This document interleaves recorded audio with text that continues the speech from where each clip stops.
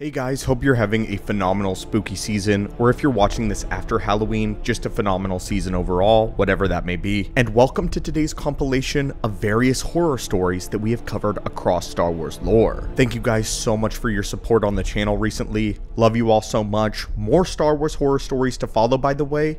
And for now, enjoy the compilation. There are many reasons why one would become a Sith Lord. The most popular avenue to the dark side is that of revenge, but equally as popular are those who desire power. In other cases, though, one may follow the path to the dark side simply because they are insane and greatly enjoy causing as much suffering as possible. Such psychopaths are usually seen as barbaric even among Sith. Many Sith believe that this hinders the greater empire and desire to achieve something instead of indulging in butchery and murder. But there was one Sith psycho that enjoyed his cruelty so much that he deviated from the traditional path of a Sith just so he could do more of it.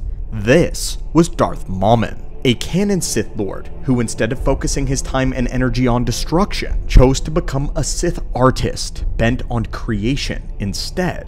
But what he created were vile disturbances in the Force. Darth Mammon made things that should have never seen the light of day. And in today's Holocron, we are going to be talking about all of his life and his legacy, from the moment that he began his training as a Dark Lord, to the day that his spirit made his final mistake by crossing Darth Vader.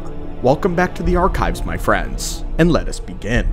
Darth Vader 2017 number 21 is where Mammon makes his first appearance. Mammon was a name that was expunged from most records. The day Sidious gifted the Mask of Mammon to his apprentice Vader, he mentioned that he had never so much as heard the name of Mammon in any holocron, Jedi, or Sith. Sidious said that Mammon was an uncommon Sith Lord, not only for his penchant for creation rather than destruction, but because the paths he walked through the dark side were deemed heretical, and this is why he was suppressed, even by the Sith. Chronologically in canon, Mammon is actually one of the earliest Sith Lords, and his mask lay hidden in the Forbidden Jedi archives for centuries on end. Vader would later ask his master how he knew of Mammon, and Darth Sidious's haunting answer was that the mask had spoken to him. Little did Vader know that the spooky sentence was a dark omen of what was to come when Vader took the mask with him to Mustafar, the place that Vader planned to build his castle. But now, we must travel back a thousand years to see just who Darth Mammon really was. In Darth Vader number 22, long ago, Mammon was a humanoid of an unknown species who considered himself to be a sculptor. However, his sculptures were made of living creatures. As a child, his mother came into his room once to find that he has dissected the family cat with kitchen tools and had made it into a disgusting work of art. As he grew older, he would delve into even darker tendencies and would go on a killing spree, kidnapping individuals of his home world and butchering them before reassembling their bodies, entrails, and flesh into a horrific sculpture that he placed in the middle of his town. He didn't even attempt to hide himself, but stood in front of it to enjoy the reactions of all those that came across it. According to Mammon, any sculpture that doesn't make the viewer feel something is not art at all. Pain and fear are the most basic emotions of any being, things they feel as soon as they are born. When these things are felt again, it brings all beings to their most fundamental selves and turns them back into animals. Mammon believed that this is something that all people need to feel, to remind them of who they really are, and Mammon desires to do this through his sculptures and his art. He was later arrested though, and taken to prison for his heinous crime, but his name would echo amongst the stars, and he would soon be found by a dark lady of the Sith named Lady Shaw. After hearing of his exploits, Shaw hunted Mammon down and liberated him from prison, taking him officially as her apprentice. Under Lady Shaw's tutelage, Mammon would create his signature mask, pouring the dark side into it. Once he finished, he would use the tools to carve up and disfigure his own face in order to wear it, as he required it now. He would then go on to repurpose these exact tools into becoming his lightsaber, building two of them. Mammon learned so much about the dark side that he felt completed by what Lady Shaw had taught him, grateful. However, he fundamentally disagreed with the idea of a master and apprentice dynamic and label. Mammon was not about to call himself a master, but he hated being labeled as an apprentice, stating that he was second to none, that all he lacked was knowledge, never power or insight. Shaw attempted to punish him for this heresy, but he ended up murdering her in a duel, determined to finish his training through his own personal studies. As a result, Mammon chose to never take an apprentice of his own, saying that there was too much to learn and not enough time to teach. During this period of time, by the way, there are multiple Sith Lords that exist in the galaxy, meaning that Mammon was a dark sheep even among the Sith Order, breaking away from their core beliefs. Mammon embarked on a journey around the galaxy, studying the lore of the dark side in all of its aspects, and visiting many great and terrible sites. During this, Mammon realized that he had been wasting his time creating work for ordinary beings, beings who would never appreciate nor understand his art. Mammon decided that the Force itself was the only true audience that was worth impressing, and he decided that if he could build something worthy of the grandeur of the dark side, that he may become worthy himself. What this means, though, is exactly uncertain, but he could be speaking of eternal life. Mammon sought the dark side deeply for answers, looking for a direction to go and how to build his magnum opus. Mammon needed to make sure this was something that could not be ignored or locked away. The Force chose him, and he chose a city. Using the resources he inherited from his master and desperate darkside acolytes, he developed two key weapons. The first was known as the Fermata Cage, and the second was a device he only referred to as the Great Engine. The Great Engine was powerful enough to burn cities to the ground, turning them to ash. But in order to be worthy of the Force, Mammon's work of art had to be so much more than even this. The Fermata cage was then activated, and it would be able to literally freeze time itself. Mammon determined that he would only begin to destroy the city, letting the heat and the flames rise, but at the very moment the people realized their imminent doom, he would pour the force into his engine, activating the cage, and to stop the flow of time. All of those minds reacting as one to pain and fear on a scale that the galaxy had never known, frozen in time like insects in sap for anyone to see and behold forever. Mammon decided that this would be an eternal shrine to the dark side, his masterpiece. All was well at first when he was at the controls, ready to bring his truthful art into being. But then the Jedi arrived. The Acolytes were slain by the Jedi strike team after putting up a fight, and the presence of the light side of the Force interfered with Mammon's concentration. The Dark Lord lost control of his massive engine, and as he was attempting to wield it, his body was consumed into the fires of his own creation. The dark side demanded more than death from Mammon, so whether it was intentional or not, Mammon's spirit was trapped inside of his mask, his physical body, atomized out of existence. And although his project was a failure, he would go on to learn an important lesson about the dark side. It was a raging inferno that must always be fed, one that demanded a sacrifice, and that if you cannot feed it, then it will feed upon you.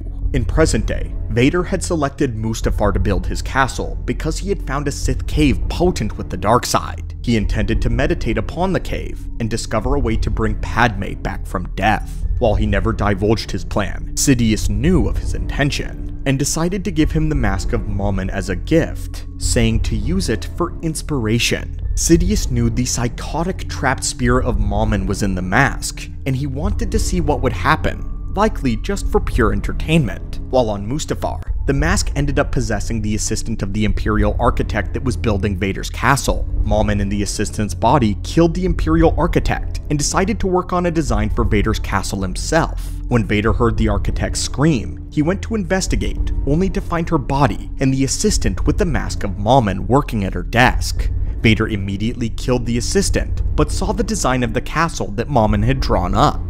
Intrigued by it, Vader took the mask to the dark side cave and demanded answers. Mammon freely told Vader his entire life story, but when it was over, Vader realized that he had taken off his own helmet and was slowly putting on the mask of Mammon. Waking from this trance, he threw the mask at the wall, breaking the spell that the spirit had put over him. A very close call to be sure. While distrustful of the ancient Sith architect, Vader was still intrigued by the design that he had come up with. Later, Vader would be butchering a group of native Mustafarians who would join forces and opposed the castle being constructed on their world. Vader would grab one, forcing him to wear the mask so that the spirit of Mammon could possess a physical body in order to do his work. Inside the Dark Side Cave, Mammon identifies the Sith location as being the Force Locus, which was a literal door, a pathway into the dark side. Mammon then explains that the door was locked, and that the castle idea he came up with was meant to be the key, at least theoretically, to the dark side itself.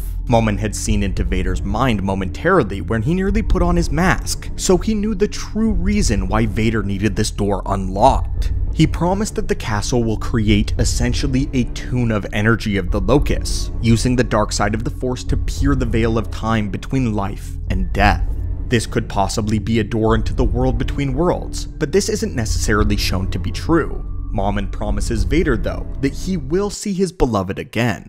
But Vader interrupts him with a force choke, telling him that he has been lied to about the dark side's ability to prevent death before. Vader warns Mammon not to promise things that he can't provide, and that if Mammon betrays him, that he will suffer. Mammon promised at the time, though, that he only wanted to create perfection, and that this opportunity would be his masterpiece that he never got to complete in life.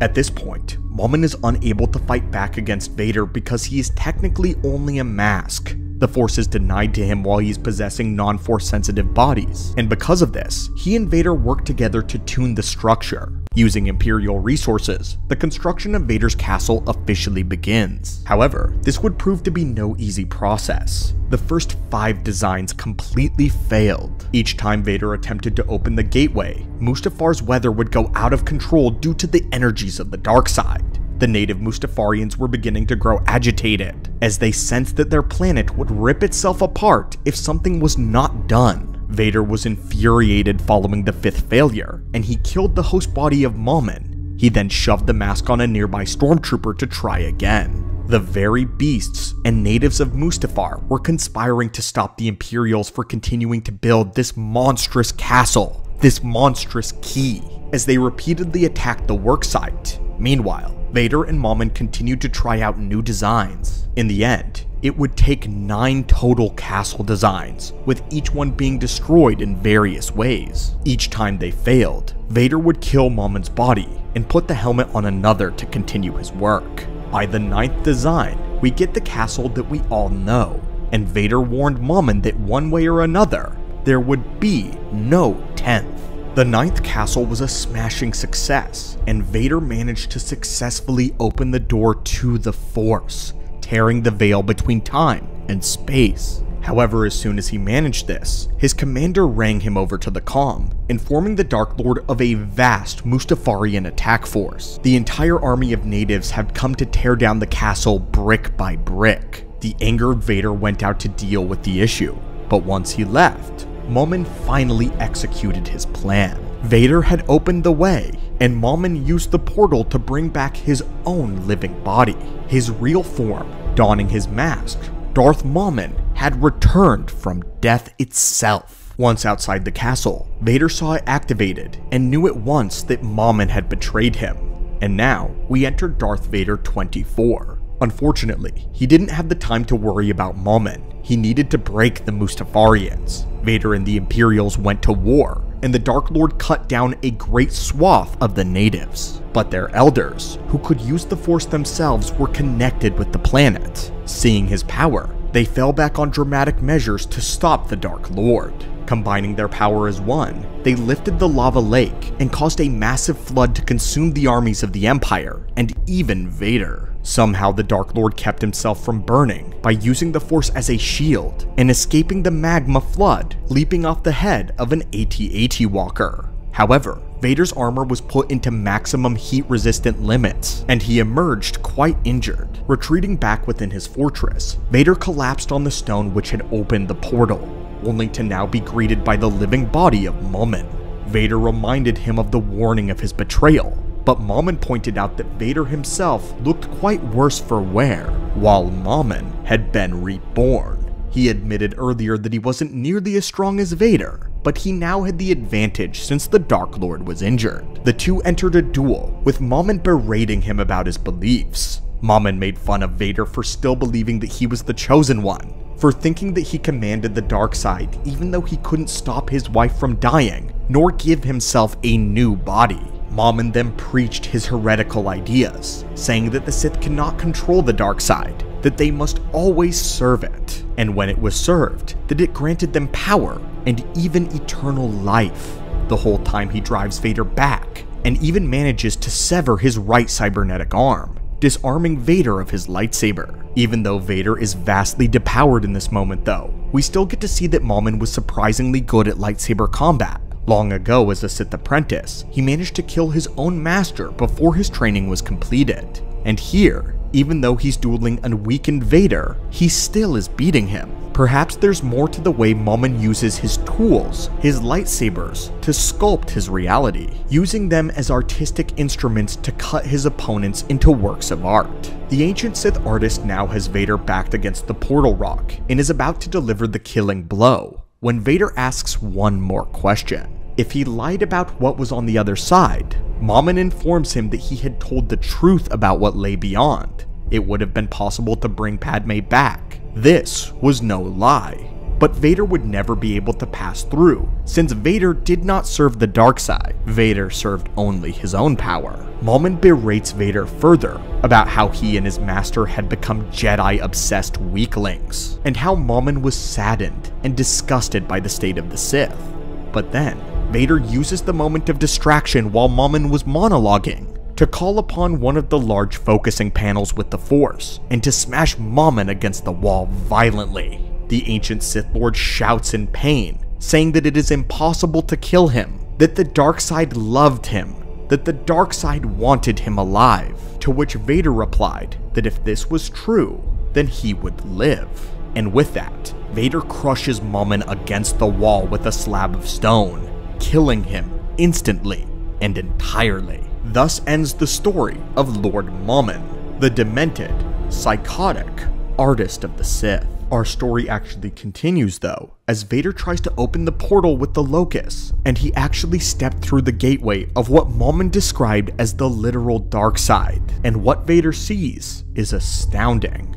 But that, my friends, is a story for another holocron. The but species now, known as the Ewok is legitimately one of the most terrifying species in the entirety of Star Wars lore. Their ability to destroy the Empire and to fight off the stormtroopers in Return of the Jedi was legendary, but what those troopers experienced that day was a fate far worse than what anybody suffered on the battle station above them. The terror that they faced that dreadful night, the night where the Ewoks came to hunt. Greetings, students and scholars of the Force, and welcome back to the Archives. Today, we will be delving into one of the most terrifying species in all of Star Wars, one of the most unassuming and famous. And if you're curious, the answer is yes, the Ewoks do in fact eat people. So without further ado, let us begin and discuss exactly what makes the Ewoks one of the most vicious species in all of Star Wars, their terrifying golden god, and the terrible fate of the stormtroopers after the Battle of Endor. Our story today comes from Legends Continuity and is Star Wars Tales number 14, Endor Apocalypse. Our story begins in a bar with a patron there that claims to be a former stormtrooper, someone who thought very highly of Lord Vader.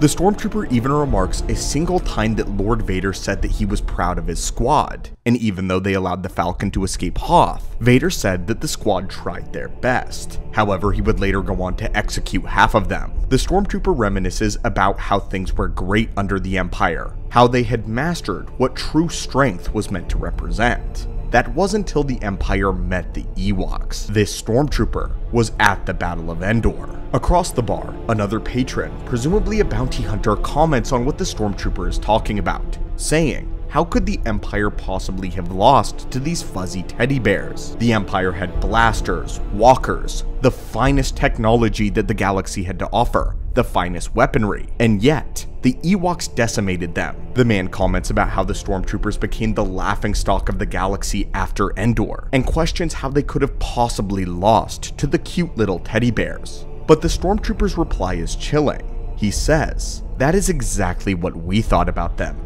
at first. The stormtrooper flashes back to Endor, saying that he knew that the culture was primitive, that they should have been no threat to the greater empire. The stormtroopers were not worried or concerned about the Ewoks in the slightest. The stormtrooper goes over first contact, when the Ewoks emerge from the jungle, offering the stormtroopers some flowers, offering them peace, However, the stormtroopers immediately turned their blasters on the Ewoks, mowing down as many as possible, claiming that the true purpose of the flowers was to block the barrels of their guns. Everything was fine and quiet on Endor until the night came and the Ewoks began picking off the stormtroopers one by one, laying traps all around their camp, hanging them from nooses, dragging them away into the night. The squad was terrified. All around them, Ewoks were picking off their brothers one at a time, disappearing. All they could hear was their screams echoing through the endlessly dark abyss that was the forest. And with the stormtroopers, an eerie thought entered their minds. What exactly is happening with our brothers out there? Are the rumors true? Do the Ewoks truly eat people? The stormtroopers huddled together in absolute fear, all of them hypothesizing why the Ewoks would possibly be murdering them one at a time. They begin to hypothesize that this is a ritualistic killing, that by eating them, that the Ewoks were taking their spirits into themselves. And that's when the drums begin.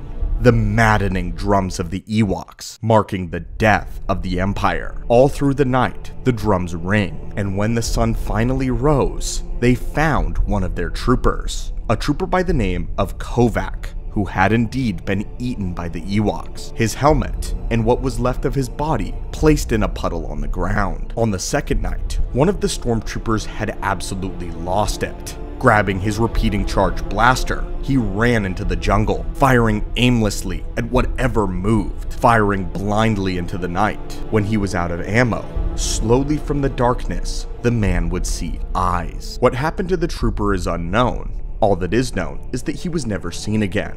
The next day, though, some hope was brought to the Empire. Lord Vader had arrived on Endor, informing the squad that they would now be attacking the rebel forces. The stormtroopers were elated. Finally, they had something to fight. But as they ventured through the jungle, things only got worse. They soon discovered that it had been laced with booby traps of all sorts. Deep holes in the ground had been dug, with spikes. Arrows flew through the trees. Rocks crushed troopers. Not only were the stormtroopers being executed, but they were being executed in brutal fashion. Fear spread through their ranks like a plague, and the Ewoks never relented, swinging from the trees with spears, impaling troopers through the neck, back, wherever they could get them. As the rest of the squad ran, screaming, they left behind a sole trooper. The trooper that we now find in the bar. Just as he was about to be executed by a group of Ewoks, a rebel soldier emerges from the trees, telling them that the battle is over and to spare the life of the trooper.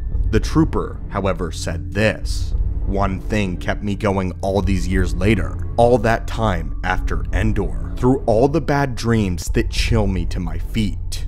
You know what it is? It's that while I never had a good night's sleep since Endor, at least I can take comfort in the fact that when 30 billion tons of metal explodes in the lower atmosphere of a small moon, it's only got one place to go. Switching back to the bar, the patron says this That is a myth. Everyone knows most of the Death Star simply vaporized. The Rebel fleet intercepted the rest of the wreckage. To which the Stormtrooper says, Oh, they did.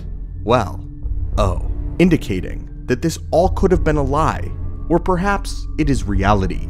Perhaps the Ewoks really are as brutal as we all think. But what about the Ewoks' culture? Do they truly eat people? Not a lot is known about the Ewoks in the galaxy. They are regarded as primitive. However, what was shocking about them was just how skilled of warriors they truly were. They were precise, disciplined, inventive, ruthless, and have even been described as masters of warfare. They tormented the Imperials in the night, mastering psychological warfare as well. This is what truly defeated the Empire, the mind games that went on. And in the morning, the Ewoks found out that they had ritualistically devoured their friends, taking their spirit, their strength, their energy into themselves, absorbing it. They were going to do the same thing in Return of the Jedi, had they not been saved by the Golden Protocol droid C-3PO, who they believed was their god, who they referred to as the Golden One. If you want to know something truly disturbing about the Ewoks, in Shattered Empire number 1, there is an exchange between two rebel soldiers at the celebration of Endor, in which one of them says, I don't know what I'm eating, but I think I'll have another.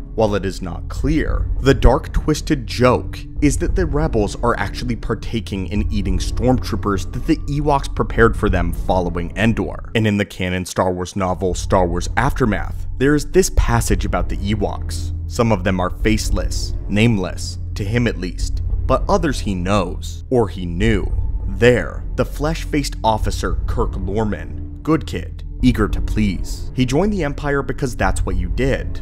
Not a true believer, not by a long stretch. Not far from him, Captain Blevins, definitely a true believer himself, a froth-mouthed braggart and a bully. His face is a mask of blood. And then you have Sinjir, is glad to be the one that is dead. Nearby was a young woman. He knows her face from the mess, but not her name. And the insignia rank on her chest has been covered in blood. Whoever she was, she's nobody now. Much for the forest, food for the native Ewoks, just stardust and nothing. The more we learn of the Ewoks, one thing becomes terrifyingly clear. What they did to the Imperials that day was brutal, and it stuck with them forever. These are stormtroopers that have seen war. Many of them, war is all that they have known for the past few years. So the fact that these teddy bears shook these hardened soldiers to their core speaks to how terrifying their interactions really were with the Ewoks, and how they didn't want to end up like so many of the other troopers, eaten ritualistically in order to consume their spirit and their strength. The Ewoks are without a doubt one of the most terrifying species in all of Star Wars lore, and on the surface, you wouldn't really believe it. But anyway, the friends, the pelt of the Wampa is one of the most prized and expensive pieces on the black market among hunters. But this wasn't because of their rarity like many other creatures, but because of the terror that they inspire.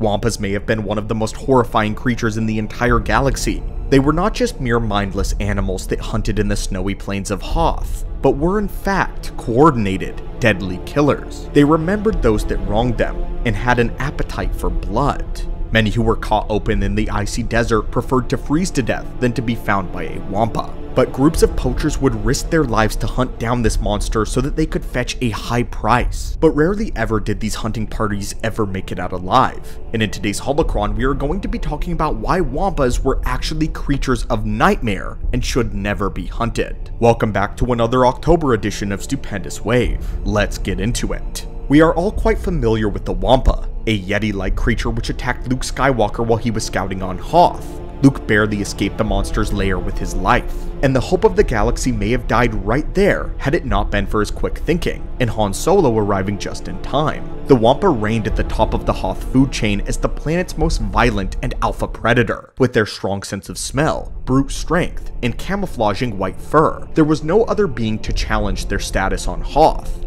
A single powerful blow from a Wampa's forearm was enough to neutralize the strongest of prey. The creature's bite was deadly enough to kill beings several times its own size, and they also had razor-sharp claws which were constantly being cut to perfection, sharpened over years of carving ice caves. Very rarely were Wampas themselves the victims of predators. In fact, the creatures had no natural enemies except others of their own kind. However, they rarely fought one another unless it was over food, territory, or a mate.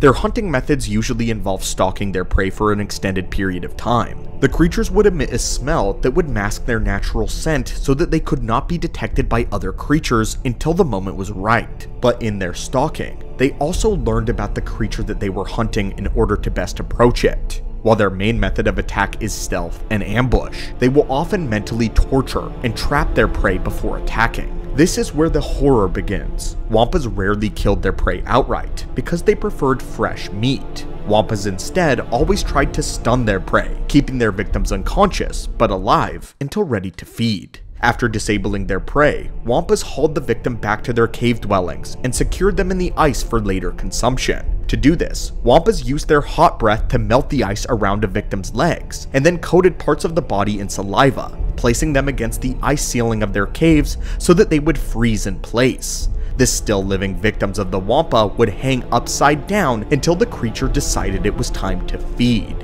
Hanging the still living victims from the cave's ceiling allowed the Wampas to keep their food in good condition and then snack at their leisure. Tales existed of victims taking days to die as the Wampa slowly devoured them piece at a time. This is where we actually get into the most dangerous part of the Wampa, that's their intelligence. Scientists constantly doubt the intelligence of this monster, but this is their own doom. While Wampas are known to be solitary hunters, they have shown the ability to coordinate group attacks on large scales. There was one story of a group of failed stormtrooper cadets establishing a business as a guide of leading big game hunters in pursuit of the Wampas. Initially, they were met with great success due to their advanced weaponry. However, by their fourth expedition, the Wampas had learned their enemy's secrets. the hunters had landed and set out in search of their quarry. Meanwhile, the Wampas managed to find and destroy the expedition ship, and over the course of the next several nights, the Wampas circled the camp, howling madly. The frightened hunters wasted their ammunition shooting at shadows until the Wampas finally attacked. The Wampas dragged the hunters away one by one,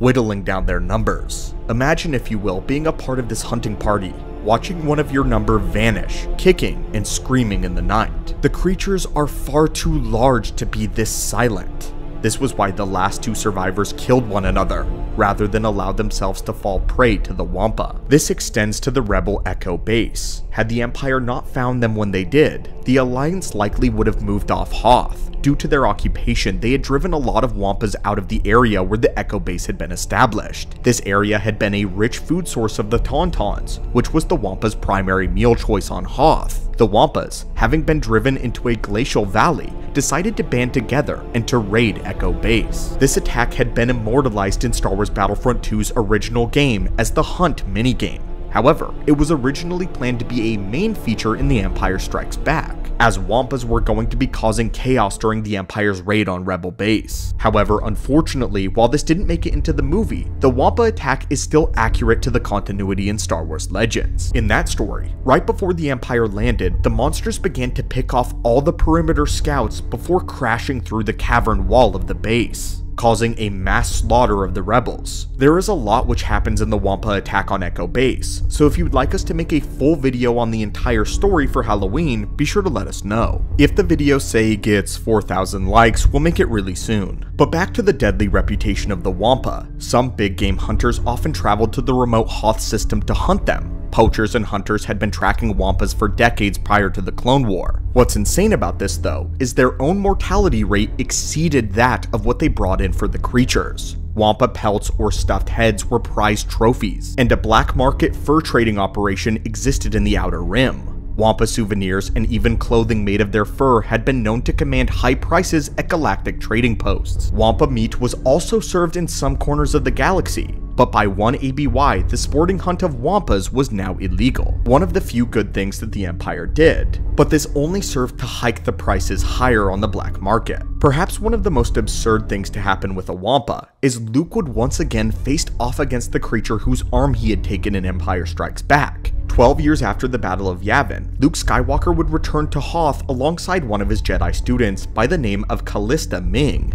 It would be here where the Jedi would discover a group of poachers hiding in the Echo base. They had come to hunt the elusive creatures, and initially found great success, but like the stormtroopers before, they came back to find their ship was destroyed and their pilots slaughtered. Again, they were picked off one at a time, forcing the last five of them to seek shelter. When Luke Skywalker and Ming arrived on the world just days later, the two Jedi and five survivors were once again attacked by what was described as an army of Wampas together, being led by none other than the dismembered beast. The Wampa recognized Luke Skywalker and Ming's lightsaber as a threat. As a coordinated group, the Wampas ruined the flight controls of the Jedi ship, and had again prevented escape. The Horde chased the group back to the confines of the Echo base, as brilliantly and terrifyingly, the creatures created a diversion, banging on the base's closed shield doors, while another group dug through the icy walls of the facility. The two Jedi were able to reach their damaged ship with the stopping power of their lightsabers, and Luke would once again face off with the one-armed Wampa. In a final battle, the Jedi Knight killed the beast at long last, and escaped the planet after rigging the vessel to restart through an alternate power source. Unfortunately, the attack had come at the cost of all five of the remaining poachers. With monsters that display enough intelligence to disable ships, counter blaster technology, and hold grudges against those that have wronged them, there should never be a reason to hunt a Wampa.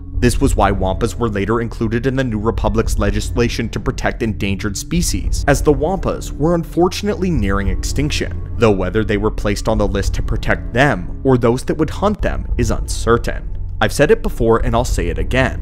I think a fantastic Star Wars project would be an R-rated film, one all about the attack of Echo Base, or at least a group of survivors trying to escape Hoth under a Wampa invasion. There's enough about the Wampas to make them the perfect monster for a great creature feature set in a galaxy far, far away. But that's just a simple man's opinion. As always, When my we friends. think of ghosts in Star Wars, what comes to mind is usually the essence left behind by only the strongest of Force users. Some Jedi find out how to retain their identity after passing into the netherworld of the Force, and are able to manifest themselves as Force ghosts to guide living people. Sith that learn of this secret attach their spirits to dark side objects, wanting to terrorize those that would steal their old ancient secrets. But rarely do we think about droids becoming these haunting figures, but that is the case for this next horror story from the galaxy far, far away.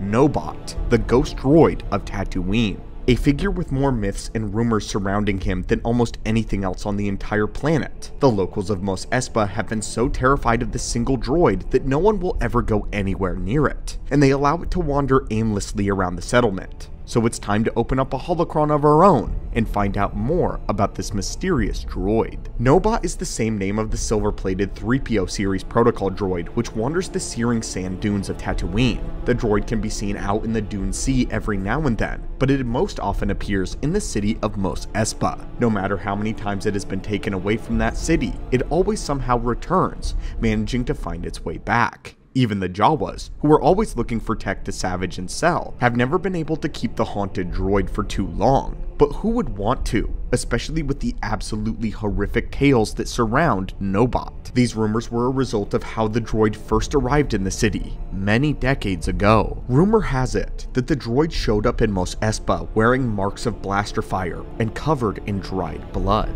Its serial number had been scratched off, so there was no way to identify the droid other than it being a 3PO unit made from the Cybot Galactica, the makers of all protocol droids. One of the vendors of Mos Espa, by the name of Jira, is the one who knows the tale the best, and usually tells her version of the story for the rate of two peggats per telling. According to her, Nobot had been the only witness to the murder of a young pregnant woman, but evidence and rumors began to mount more and more that perhaps the droid itself had been the perpetrator. Very little substantiates this other than what we know the droid says, or more so, what it will not say. Anyone that approaches Nobot or attempts to speak with it will not be met with the idle chit chat or proper speech of any normal protocol droid. Nobot's communication module will play back the recording of the woman being murdered, the murder that he witnessed. The garbled audio was of that of a woman screaming, begging for her life, followed by a long period of static before Nobot repeated the entire interaction. This baffled both the locals and authorities, as no murder or even missing persons have ever been reported anywhere near or in Mos Espa, so no victim was ever claimed. And yet, there was a broken protocol droid, a machine aimlessly wandering, repeating back the only evidence that a murder had ever occurred.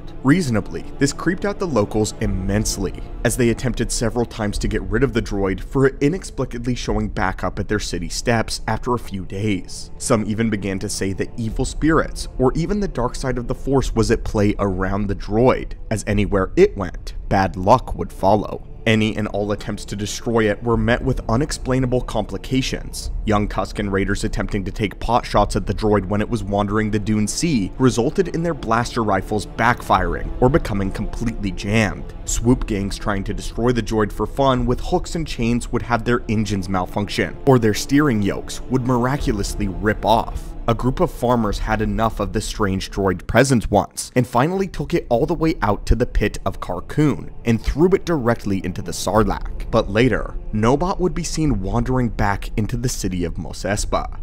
Now, of course, we have to take a lot of this story with a grain of salt. Most of what we know about Nobot comes from the imaginations of the Tatooine locals. There isn't a lot that goes around the city of the dusty planet from day to day, and moisture farmers need something to talk about. Outlandish stories are going to be the way to go, especially when anyone can put their own spin on it. Jira was the first to tell the story of Nobot, and several other vendors overheard and began to tell their own version while charging rates for it, competing directly with Jira. And of course, it only makes sense as to who would have been around to see if the Tusken Raiders' rifles had actually backfired when trying to shoot the droid, and it's pretty suspicious that the murder was not specified, nor the murder victim ever identified. The only reason they suspect anything is because of the droid's communicator, but there was nothing to indicate that the woman being murdered was pregnant. The detail was likely added by Jira herself. What's also interesting is that no one really knows where Nobot came from. Only Jira mentioned how the droid looked when it first arrived in Mos Espa all those decades ago.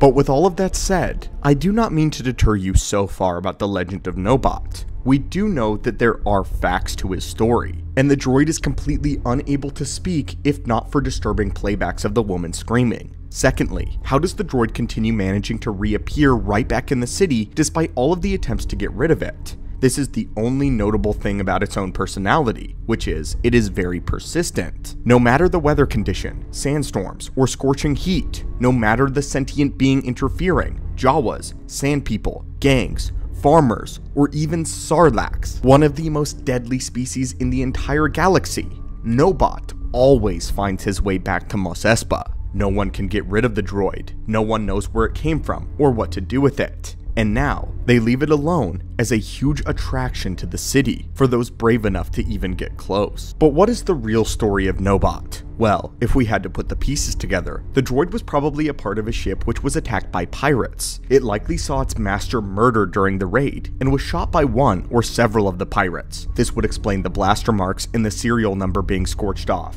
It would also explain how the droid is damaged, and only able to speak by playing back the last thing that it saw. The woman screaming was the murder happening in front of him, and then the static is what happened as soon as the droid itself was shot. However, it must have reactivated and defaulted to emergency programming, seeking the nearest settlement in order to look for help. However, it was far too late, and so the damaged droid goes to Mos Espa, playing back the recording, hoping that someone will hear its cry for help but because the droid is now defective, it barely knows what to do but wander around the city after reaching it. That's at least the more probable explanation. But what this doesn't explain is how the droid manages to repair itself and even come back from things that should be impossible, like the Sarlacc pit. And to that end, we offer a more obscure explanation the dark side. It could be possible that the droid was around a dark side ritual gone wrong. Perhaps they were witness to a ritualistic sacrifice by a dark Jedi or a cult gone wrong. Imagine that the droid witnessed the sacrifice and was overtaken by a mysterious force, the dark side, which then took control of it and altered it, which we know the dark side can affect technology in a very dangerous way. In fact, there was even a technological virus that was orchestrated and developed by an ancient Dark Lady of the Sith that nearly destroyed the entirety of the Republic. Something similar could have happened with Nobot, although indirectly. It's possible that Nobot then went on a murder spree, killing each and every one of the cultists, then attempting to fight back. But since the droid can repair itself, it cannot be stopped. This explains the many blaster marks and why the droid was covered in blood. It would also explain Nobot's seemingly supernatural abilities, how it can come back from the dead, because there's something else moving it now, some force placed within it, a nefarious entity if you will, controlling its every action. And maybe, if somebody one day gets too close, they too will experience the truth of what Nobot really is. What the droid exactly is, is a major mystery, but if you ever see it, do not approach, pay your respects, and be mindful of its every move. So, my Order friends, 66 was undoubtedly the most devastating event in the Jedi Order's history. In the blink of an eye, nearly the entire Order would be wiped out in a single stroke all across the galaxy. The Sith returned and claimed control for themselves. What followed was Vader and his Inquisitorius, hunting down any remaining Jedi that they could find. This event is in its entirety known as the Great Jedi Purge. However, the name Jedi Purge as a title is a bit of a misnomer, as there was another Jedi Purge that occurred 3,000 years prior. This was the first Jedi Purge, and took place deep into the Old Republic era. The Dark Lords responsible are the Sith Triumvirate, but mainly Darth Nihilus, the Lord of Hunger, as well as contributions indirectly by individuals such as Revan. The Sith Triumvirate caught the eye of the already weakened Jedi Order by storm, and almost rendered them entirely extinct, as they were not prepared for such a threat. At the kicker, this was all Revan's fault, though interestingly enough, there is very little information surrounding exactly how this purge took place, or what measures the Sith took to nearly destroy the Jedi. But we are determined to discover the truth of the first Jedi Purge and unveil a detailed look at exactly what happened during the days of the first Purge, an event that some believe was far worse than Order 66. The year is 3954 BBY. To set the stage, this is two years after the ending of the Jedi Civil War and the death of Darth Malak. Revan, now having gained back his memories, has vanished once again into the unknown regions, only telling the Jedi that he has gone in search for the Sith Empire, the Sith directly who had turned him to the dark side in the first place, Emperor Vitiate. Unfortunately, this was a time when Revan of all people would be needed the most in the galaxy, as the Jedi was on life support. Around this time, the Jedi had suffered several wars in quick succession to one another. There was the Great Sith War first, introducing Exar Kun only a scant 50 years before the Mandalorian Wars and the time of Revan. The war with Exar brought great calamity not only to the Republic, but took a huge blow to the Jedi Order's numbers. Immediately after this would be the Mandalorian Wars, and following that was the Jedi Civil War thanks to Revan and Malak. Three, not just conflicts, but full-scale wars in a single lifetime. It is extremely underestimated just how many Jedi lives were lost during each of these conflicts, with thousands of them dying across the short time frame of around 50 years. The Jedi Order was severely weakened, not able to sustain heavy losses within that time frame.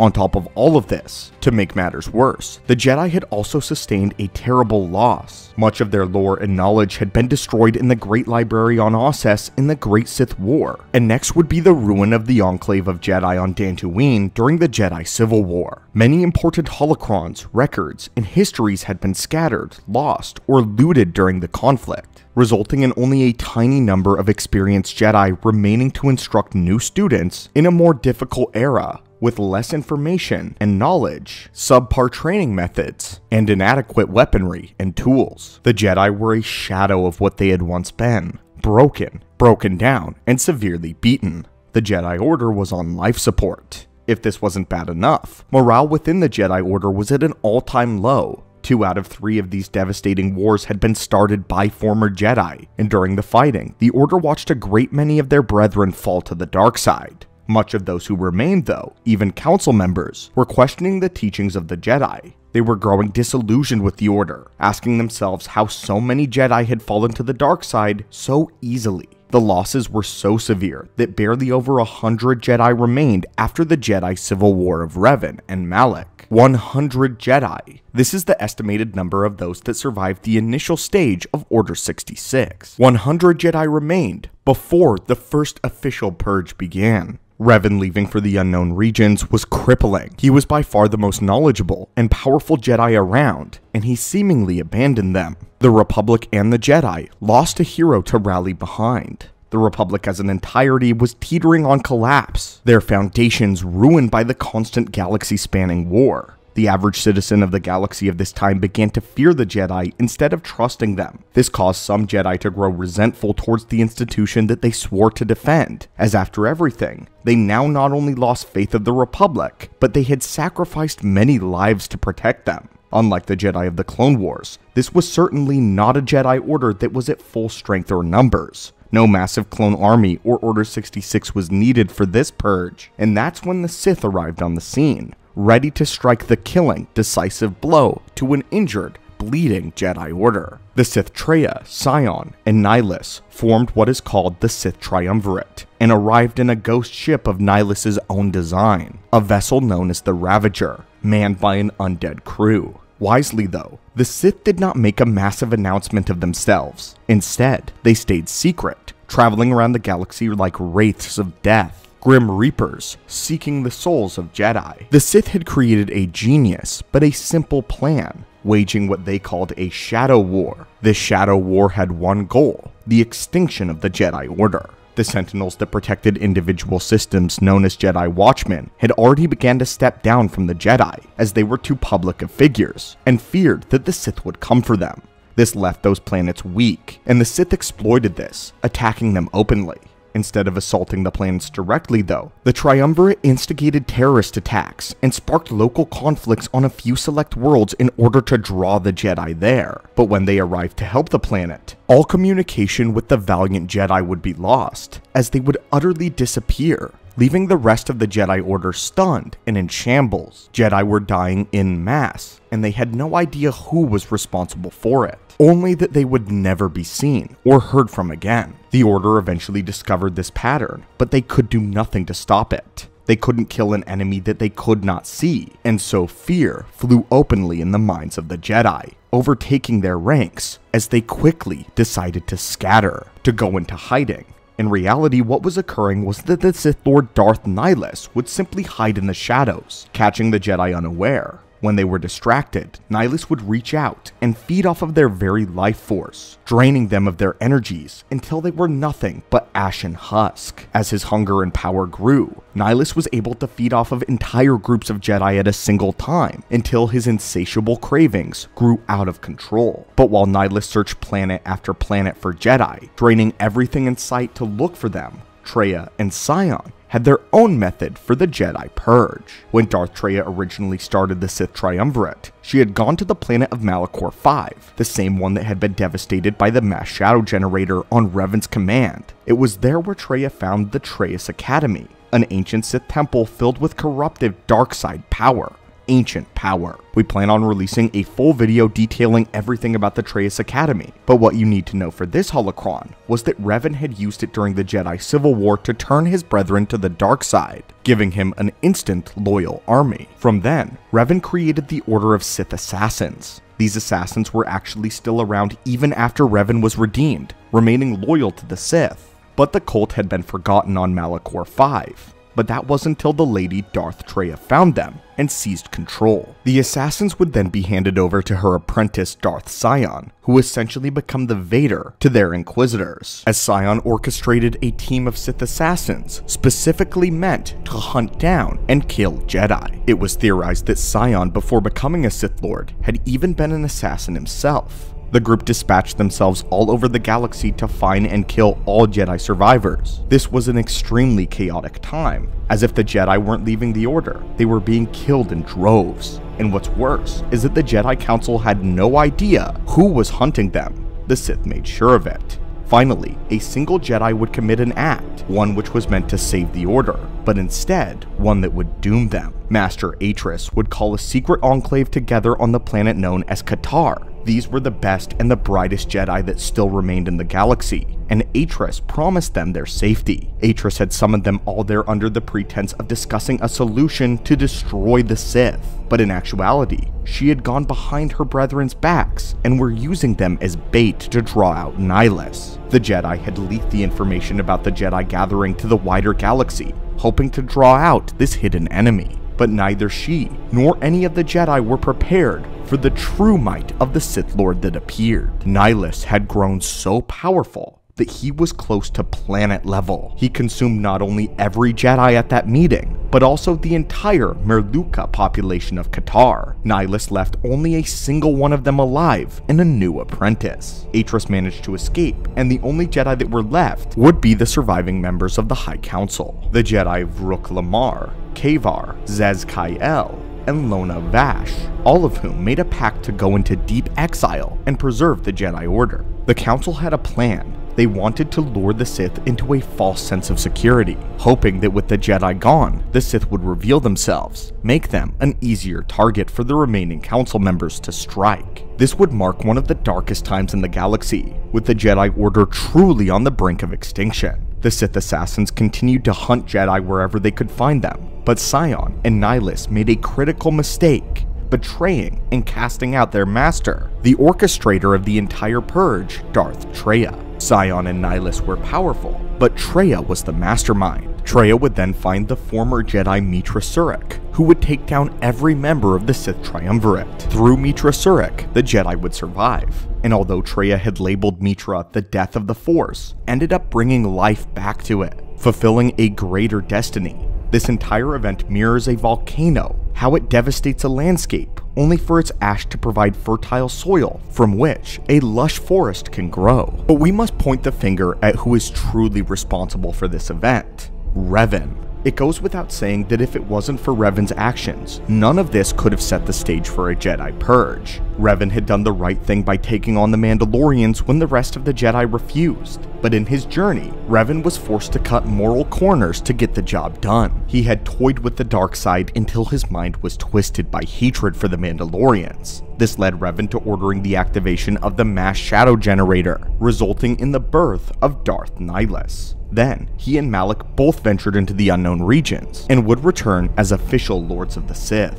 This resulted in another war that drastically weakened the Order and set the stage for the Sith Triumvirate to take over. Most people give Revan a pardon for his actions, as Darth Revan and Revan are described as two separate people in some cases, something that is heavily disputed in the lore. But what is questionable to excuse is the newly redeemed Revan flitting back to the unknown regions, instead of attempting to rebuild the Jedi Order that desperately needed his help. Revan could have been this era's Luke Skywalker, but instead, he promised to hunt down and destroy the Sith, ironically setting the stage for the Sith to hunt and destroy the Jedi. After Revan returned, the Jedi acknowledged how powerful he was, but they also seeded a deep hatred for him. They were forced to offer him a seat on the council because of his knowledge and insight. Yet, Revan refused, sensing the Jedi's true feelings about the former Sith. In some circles of the Jedi, he was called Savior, but in most, he was known as a traitor. Although his actions may be justified, by attacking Vitiate's Sith Empire first, Revan was counting on the fact that Vitiate, sensing how weak the Republic was, would make a move. And with Vitiate's Sith Empire, they would have annihilated all of the Jedi and the Republic with ease. Having said that though, Revan still abandoned a Jedi Order and a Republic that were only barely holding themselves together, leaving them at the mercy of a planet-eating monster of Revan's own creation. But my friends, What this was was, the the story of the Vampire Jedi. Greetings, Acolytes, we've been expecting you. Folklore is filled to the brim with tales of strange creatures and monsters in the night that hunt you for your blood. But for the galaxy of Star Wars, these tales of myth are all too real. Luckily for us, the Jedi Knights exist to defend the weak from such monsters of darkness, unless one of them were to become that such monster. Such was the tale of Tel Angor, the Force Vampire. Some of the monsters we are familiar with with our world exist in the galaxy far, far away as well, usually created as an abomination of the dark side. But the real tragedy of this tale is that the man who would become this abomination had done so in order to destroy such creatures of the dark side.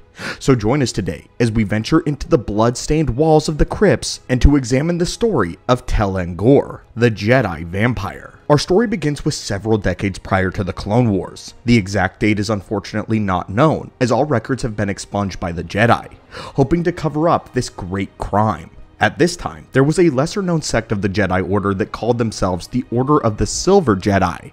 They were an entirely militaristic sect that devoted themselves to the complete eradication of the dark side in any form. The Silver Jedi served a similar purpose to that of the Jedi Shadows and the Jedi Sentinels, which went out to kill Darksiders and retrieve Darkside artifacts as their primary goal. However, the Order of the Silver Jedi were not beholden to the Jedi Council or the Council of First Knowledge like the Jedi Shadows were, and their devotion to destroying the dark side went far deeper than any other Jedi did. It seems to us that the Order of the Silver was something of an elitist club which only accepted the best and the brightest Jedi of an entire order. Many of the most prominent and talented members were a part of the Order of Silver, including the greatest Jedi Knight of that day, a Jedi by the name of Tel Angor. At this time, there was a wave of dark Jedi beginning to surface across the stars, likely due to the rule of two trying to distract the Jedi during this time. Since they were in constant battle with beings of the dark side, the Jedi soon noticed that these beings were more able to use the dark side to bolster their strength than to worship it, something that far surpassed the abilities granted by Force Valor. The Silver Jedi experienced that these creatures were something rare and that their potency in the dark side was not common even for extremely powerful dark Jedi. It was clear that the dark side ruled them, but not in the form that the Silver Jedi were accustomed to.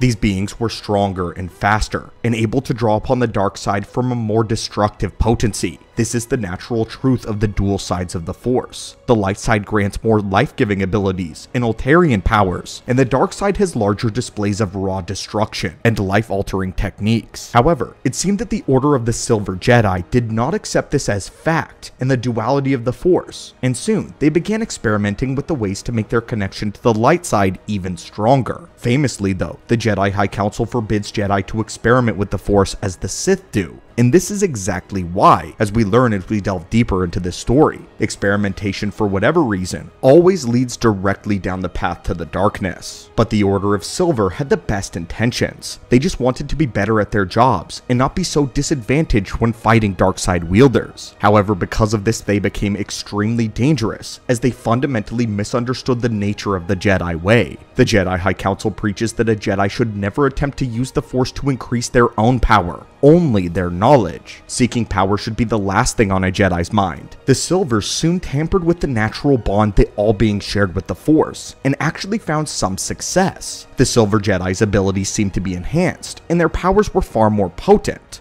But this was not enough for their order. In their haste to defeat the dark side once and for all, the Silver Jedi discovered what they thought to be a foolproof plan, although it was slightly dangerous, which was the means of fully opening oneself to the power of the Force, to let it flow through them openly like a reservoir. Tel Angor, a powerful and experienced Jedi Knight, volunteered for this experiment happily, as he was ordered to take at least a month in order to perfect his deep meditation. For four weeks, he fasted and concentrated on his connection to the Force in anticipation with completing this merge. Both the Jedi Order and Angor himself believed that he would be a living symbol of the light side, a glowing beacon of righteousness and justice, a new leader. Unfortunately for the Jedi, though, and the galaxy itself, the experiment backfired dramatically. Instead of drawing the Force in to bolster his abilities, the Jedi Was corrupted completely by the dark side once he opened himself up to the Force fully and turned into what is known as a Force vampire, a being that fed on the Force and that needed it to survive.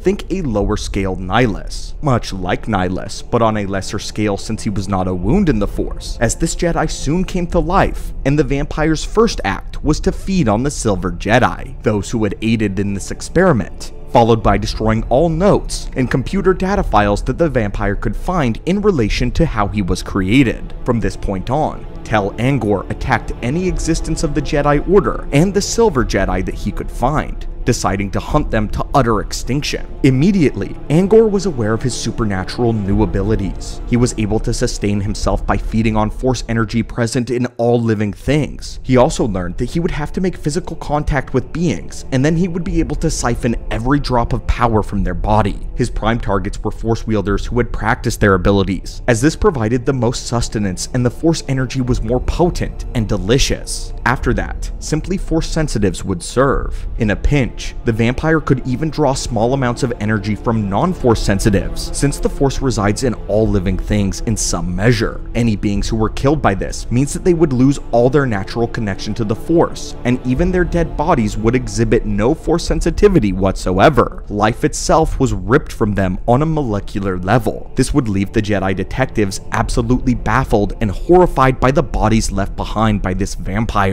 Tel Angor was able to transfer the force energy into pure strength. This allowed him to always be a physical superior to anyone in a fight, and he could even bolster himself against injuries as well. The dark side granted the vampire with a secondary deadly ability, one where he could radiate waves of terror by resonating with the dark side itself. These waves caused such palpable fear in targets that victims felt debilitated and a level of pain that they had never experienced before. Victims killed through this power had looks of absolute terror etched in their faces at the time of their death. Unlike most vampires though, Tel Angor wasn't always able to rely on stealth, especially when he battled trained force wielders. He radiated like a walking dark side nexus, which could be easily sensed by anyone who used the force. He was a perversion of the very force itself. He was not natural and had come out only through experimentation, one which could not be reversed or duplicated. Nothing was left of the once good man and Jedi who called himself Tel Angor, the beacon of light. All that remained was the dark side creature that he had become.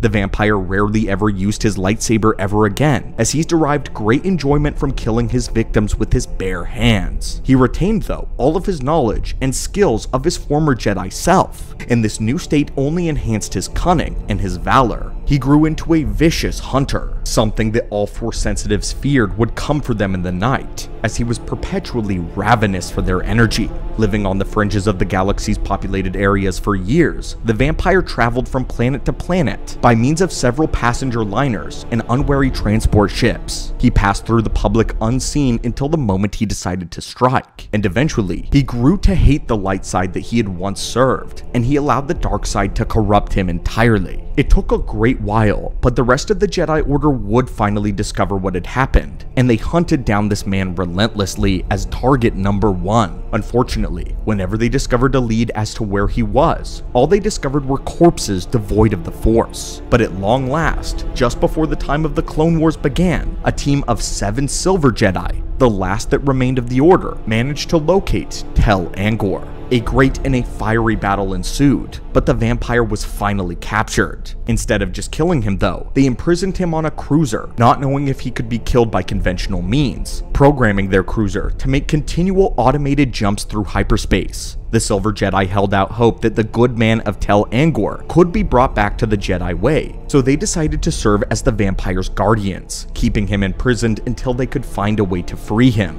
But this would prove to be a terrible tragedy and mistake, as the vampire would kill again. Not long after their trip began, one of the Jedi made a critical error in the methods of containment, and Angor escaped. Angor quickly began to feed and murder anyone he could locate when it was finally down to the last member of the Silver Jedi, a Jedi Knight by the name of Bar Oplet. He managed to use his last moments of life to sabotage both the hyperdrive and the sublight drives to keep the vampire from escaping. Afterwards, the last Silver Jedi would die in a valiant stand against this dark side creature. But even though he had escaped, Angor was no less imprisoned than he had been before, as the ship exited hyperspace and floated there dead in space for decades on end. And with the last breath of the Silver Jedi, the vampire was imprisoned, but not forever. The years would crawl on, and so too would the Clone Wars, the rise of the Empire, and the fall after another galactic civil war. It would not be until the age of the New Republic before the cruiser was located in unknown space by a New Republic patrol. As the New Republic crew boarded the ship in order to investigate, the medic on the team, who was force sensitive themselves, immediately sensed the sickening presence of the being, but this was far too late.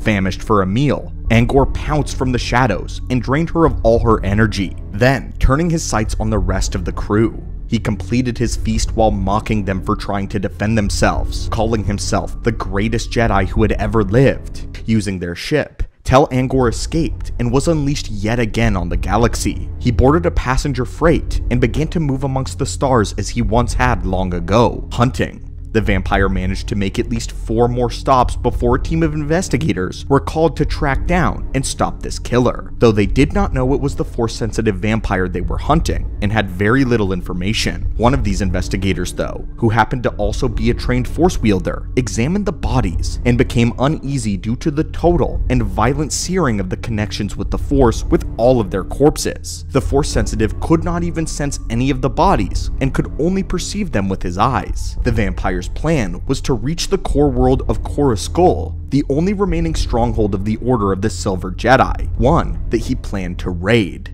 He planned to destroy the final evidence of his existence after learning that there was a small group of Silver Jedi remaining, and with the Silver Jedi was the final piece that he had ever existed to begin with a journal, one containing all the information of his creation and the story of the Silver Jedi. The very last entry would read this we never should have tried. Luckily though, the New Republic investigators caught up to the vampire in the stronghold and managed to take him down after a grueling final battle, as he was unable to destroy the final bit of evidence of his creation. And thus, the story of Tel Angor would come to an end. The Jedi Order carries many secrets they don't want revealed, and this is definitely one of them. It's not surprising that we've never heard of the Order of Silver Jedi before now, as it was clear that Tel Angor did everything he could to wipe all trace of their existence from all star maps so that no one would know who or what he really was. It's a shame and a tragedy that a man of righteousness and devotion against evil would become such a vile abomination in pursuit of the light side. Many ask why the Jedi didn't experiment with the Force like the Sith do, and this is a perfect example as to why. The Jedi know the secrets of life itself, as they serve the side of the Force that has everything to do with life. When the knowledge is used for power, only devastation lies in wait. I personally actually love this story a great deal, the Sith are always a cool read when it comes to the dark side and dark side based villains, but this offers a refreshing take on another dark side villain. A group of Force vampires born from the dark side would definitely be a very interesting way to go. Star Wars is known for adapting different genres into the galaxy far, far away, so imagine a Dracula like story with an old monster movie sort of vibe, or perhaps even just Van Helsing as a Jedi, hunting down a dark side abomination. I have always felt that horror and Star Wars go masterfully together, and one day I would love to see a project revolving around the horror genre. But anyway, friends, what made Darth Maul's ship the deadliest of its era? Greetings Acolytes and welcome back to the Archives. Although seen only briefly, the Scimitar might be one of the most important ships of the Republic Classic era. Used by Maul during his apprenticeship under Sidious, the Scimitar was the perfect ship for someone of Maul's particular skill set. It was incredibly stealthy, highly experimental, fast, and horrific. For many, the Scimitar and its beauty would be the last thing that they ever saw. But what in particular made this ship so dangerous? It wouldn't be until after Maul's supposed death on Naboo that the Jedi would inspect the scimitar and find that it was riddled top to bottom with Sith technology. And not only that, but that the ship was also apparently alive, powered by the dark side itself. This makes the scimitar something of a prized Sith artifact, and the only one of its kind. So join us today as we analyze the ship that flew under everyone's radar and nearly made a member of the Jedi Council fall to the dark side. But before we begin, be sure to drop a comment letting us know if you enjoy these sort of breakdowns and want to see more in the future. And if you do, tell us what other pieces of the galaxy you'd like to see analyzed and explored. Now, onto the holocron of the Scimitar. The scimitar itself has a history that predates its use by Maul. In Legends continuity, the ship hadn't originally been designed for Maul, but it was actually made for Sidious's predecessors. Many had thought that it had been built by the Raith Sienar, the lead of the engineer and the founder of the Sienar design system. This was because it bore a striking resemblance to the armed star carrier ships designed by the Sienar system. While Raith Sienar was no stranger to designing ships for Palpatine specifically, he actually denied involvement with the scimitar in actuality, it was designed and built by Rugess Nome, better known as Darth Tenebris. Rugess was the alter ego of Tenebris, who was a successful tycoon that made a fortune building luxury starships. Despite the similarities to Sienar and its carriers, the Scimitar was actually manufactured to resemble the Sith infiltrators of the new Sith War era. In fact, a model that looked very similar to this was used by Darth Bane during his own life. The folding wings around a cockpit with a classic Sith design can actually be seen used as early as the Great Galactic War, and it would go on to be the inspiration behind the TIE Fighter's wings. The Scimitar was equipped with deadly weaponry, including six solar ionized cannons, and could fire rapid bursts in the blink of an eye. These cannon types produce high-powered ionized beams with enough heat to completely melt durasteel. This would enable the scimitar to completely disable or decimate any ships that are caught within its sights. This worked extremely well with how quick the ship could actually move and its maneuverability. Its sublight engines were the fastest of the time, being the highly experimental XC2 ion drive array, which despite being able to chase down and destroy any ship that it saw, it was unlikely that the pilot of the Scimitar would even need to use its weapons. This was because the main feature of the Sith Infiltrator was its prototype cloaking device. Powered by an array of what is known as a Stygium crystal, the cloaking device was the first of its kind for a ship of this size, being exceptionally small. It was able to produce a field that rendered the ship completely invisible both to the naked eye and even the most advanced of security technologies. The Stygium crystals were historically used in other Sith technologies as well, and experimentation likely led to a perfect cloaking device, or near perfect. To complete the insane stealth specs for the ship though, it was also complemented with a thrust trace dampener, which was a device that captured the ship's exhaust gases before releasing them into space, making the scimitar impossible to detect even through its engine exhaust. This is how Maul was able to slip in and out of any mission that he needed. The ship was literally designed for a pair of Sith Masters that would want to conduct clandestine dark side business and rituals. With all of this though, the ship itself was said to be valued at around 55 million credits, designed by Tenebris, it had been a gift to his apprentice Plagueis, who would then use it until the very day that he died. Once Palpatine inherited the ship, he appreciated the craftsmanship, but didn't really have any use for it. He never went on these kinds of missions himself, and had many other crafts at his disposal. He viewed this as the weapon of an assassin. In Legends, Palpatine would decide to gift the ship to his apprentice in Maul once the Zabrak had proved himself worthy in training, and although the ship would technically belong to Darth Plagueis, it was Maul's to command, the greatest gift of his entire life. But this was all a play by Sidious, to keep Maul dependent on his approval by spoiling him with rewards for good work, but punishing him severely for bad behavior. This was a sick masterclass of manipulation to keep the Sith assassin loyal and devoted to Sidious. But of course, even Plagueis believed that Palpatine spoiled his apprentice too much, and this caused Maul to gain an ego.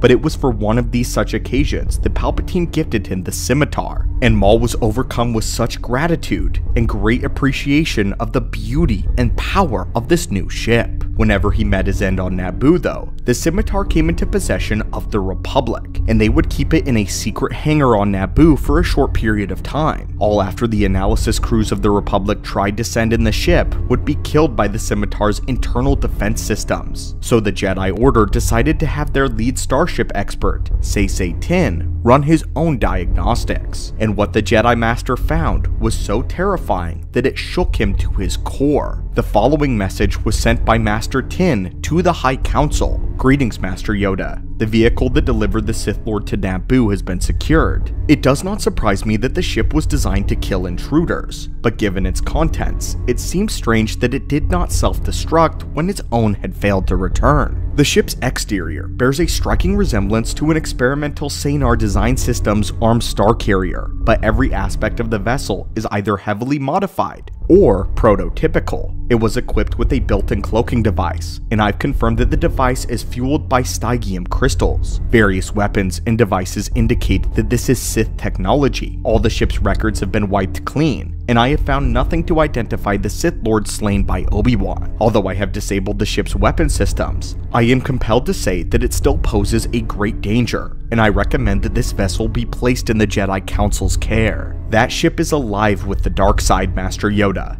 I feel it clinging to my robes, and worse, it still tempts me, calling me back with promises of fantastic journeys to the far reaches of the galaxy and space. That ship is alive. What a chilling sentence and statement by Master Tiin. The ship was so potent in the dark side that it almost had a mind, much like a kyber crystal does. And even though Saesee only interacted with the ship once, he mentioned that it tempted him it called out to him to take it, go off on adventures in the great unknown. Sith technology is treacherous, which is something we know about when it comes to the holocrons, amulets, and other types of artifacts. But it's not something that we often think of when it comes to entire vessels. Rather than be outright hostile to the Jedi Master, the scimitar could sense that Master Tiin knew more about any ship than anyone on the council, and it attempted to seduce him, very few Jedi would likely be tempted by the idea of adventure and excitement among the stars. Even Master Yoda said such things a Jedi should not care for, but Saesee Tiin had perfected his own precognition to where he was the finest pilot of the Jedi Order. He had a connection with starships that may have only been matched or rivaled by Anakin Skywalker. And speaking of Anakin, it is a very good thing that he never came into contact with the scimitar. Otherwise, I would be inclined to say that he would not be able to resist the scimitar's enticement, its promise of exciting journeys through the galaxy. The fact that Sith technology is able to go so far as to corrupt someone just by having them pilot a ship makes it wildly dangerous and even more intriguing. But anyway, my friends and acolytes, this was why Darth Maul's ship was the most dangerous of the Republic Classic era. Sith technology is a rare and a dying breed of knowledge, even though Sidious and Vader would go on to use inspiration from it in the Empire's exploits. These were again just inspirations and homages to the past. But when a Dark Lord unashamedly merges technology with the dark side, an entirely new kind of power is unlocked. Sith scientists of the past have experimented with such things, such as the Sith Lady Belia Darzu, who invented the technovirus. But anyway, my friends, when venturing out into deep space, one's mind may be on their destination, or the glory of their quest. Little thought is ever given to the traveling side of things, besides ensuring that there is enough fuel and food on the ship to get you to your next destination. But there are certain areas in deep space where one must remain extremely vigilant. Just because you are surrounded by the vast expanse of space does not mean that you are alone. There are many strange and even horrifying creatures that exist in deep space, and even some that can find you in hyperspace. Today, Acolytes, we are going to once again be talking about the dangers of the Star Weirds, phantoms of space known to attack ships seemingly at random. This is a subject we've covered in the archives before, but since they're relatively new and debuted recently in canon, there's been more information to discuss surrounding them. Along with this, there's also emerged some misconceptions and outright false information that we want to quickly clear up about the Star Weirds. So lock in your hyperspace coordinates and make sure your blasters are loaded because now we're making the jump to deep space. A Star Weird is a type of phantom-like creature that can only be encountered within deep space in the unknown wilds. While rare, encounters with these ghosts are always traumatizing, if not outright deadly. Those that survive these encounters rarely depart with their sanity, these creatures appear as impossibly tall humanoids, so gaunt as to be nearly skeletal. Their white hair is long and wild, floating around its head, even within the artificial gravity of a spaceship. It does wear clothes in the form of rags that seem to just hang in strips from their cadaverous arms. As far as the face goes, it apparently differs in appearance to whoever is looking directly at a Star Weird, though a common description is that the face almost resembles that of the viewer. However, the faces of the Star Weird are described as desiccated and rotting, but again, sometimes Star Weirds can appear as a rotting, decaying corpse of your own body a dark mirror. The face of a Star Weird is accompanied by a wide mouth full of sharp teeth and eerie glowing eyes. Its hands are long and bony tipped with black taloned fingers. The image of horror is completed by the fact that they do not walk, but they rather float around in a spectral fashion. Star Weirds also never speak and possess no known language. The Star Weird may just be the single deterrent to ever venturing out into deep space, especially due to their powers and their behavioral patterns. There are no specific areas that they reside in and unknown, making encounters possibly literally anywhere in deep space. These ghostly ghouls can survive in a vacuum, and apparently even within hyperspace. Oftentimes they attack spacers repairing damage to the hull of their ships, or even will manifest aboard the ships themselves, even through hyperspace. A Star Weird usually floats in place, and will stalk its victim for some time, only attacking once they are looked upon. But immediately once an attack begins, they begin to unleash a telepathic banshee wail, one that echoes in the vacuum of space. Most that hear these ghostly screams put them in a state of panic, those that do not immediately run will be attacked by the ghost's sharp claws. But for a strange reason, Star Weirds have a strong hatred for those that can use the Force, as they will single-mindedly attack them, ignoring all others around but that there are non-force sensitives around, a Star Weird would choose one victim to lock onto and attack. Although to this day, how one incurs a Star Weird's wrath remains completely unknown. Unfortunately, fighting one of these things is not straightforward either. Since they are incorporeal, they cannot really be harmed by any physical weaponry, though it seems lightsabers, blasters, and anything Kyber related has at least a 50-50 chance of harming a Star Weird. But what's terrifying is that their claws only affect living tissue, so they bypass any armor when they attack, cutting deeply into one's flesh. Their physiology is not well understood either, as they are known to vanish spontaneously. But what is known is that a Star Weird can be touched by the Force, and that the Force does affect them. All this has convinced most Jedi scholars that Star Weirds are physical manifestations of the literal dark side of the Force, though very little evidence has supported this claim, and this is mainly a theory among the Jedi Order. But still, this prospect is fascinating. The idea that the dark side itself has created these creatures that reside in dark space. Star Weirds can also use the Force themselves, which of course makes sense. They are known for being able to use Force Choke, telepathy, summon Force Lightning, and can even drain the life out of victims with their power. However, recently in canon, when Luke was attacked by a Star Weird, he stated that he couldn't feel any movements in the Force, leading many to speculate that the Star Weirds can actually control gravity. Star Weirds have only ever been seen twice in all of the lore, canon, and legends combined, and this is where the big big misunderstanding lies that we mentioned earlier about these creatures. Star Weirds were first created for the Star Wars role-playing game and are detailed in totality in a source book, one called Ultimate Adversaries. This is a very small story, in which that they appeared in the Old Republic fact files, and they make their only appearance in an actual story in the canon Dr. Aphra comics from the year 2020. There is false information going around right now that Darth Vader was afraid of them, and that he couldn't kill them, or rather, that the Star Weirds feared Lord Vader,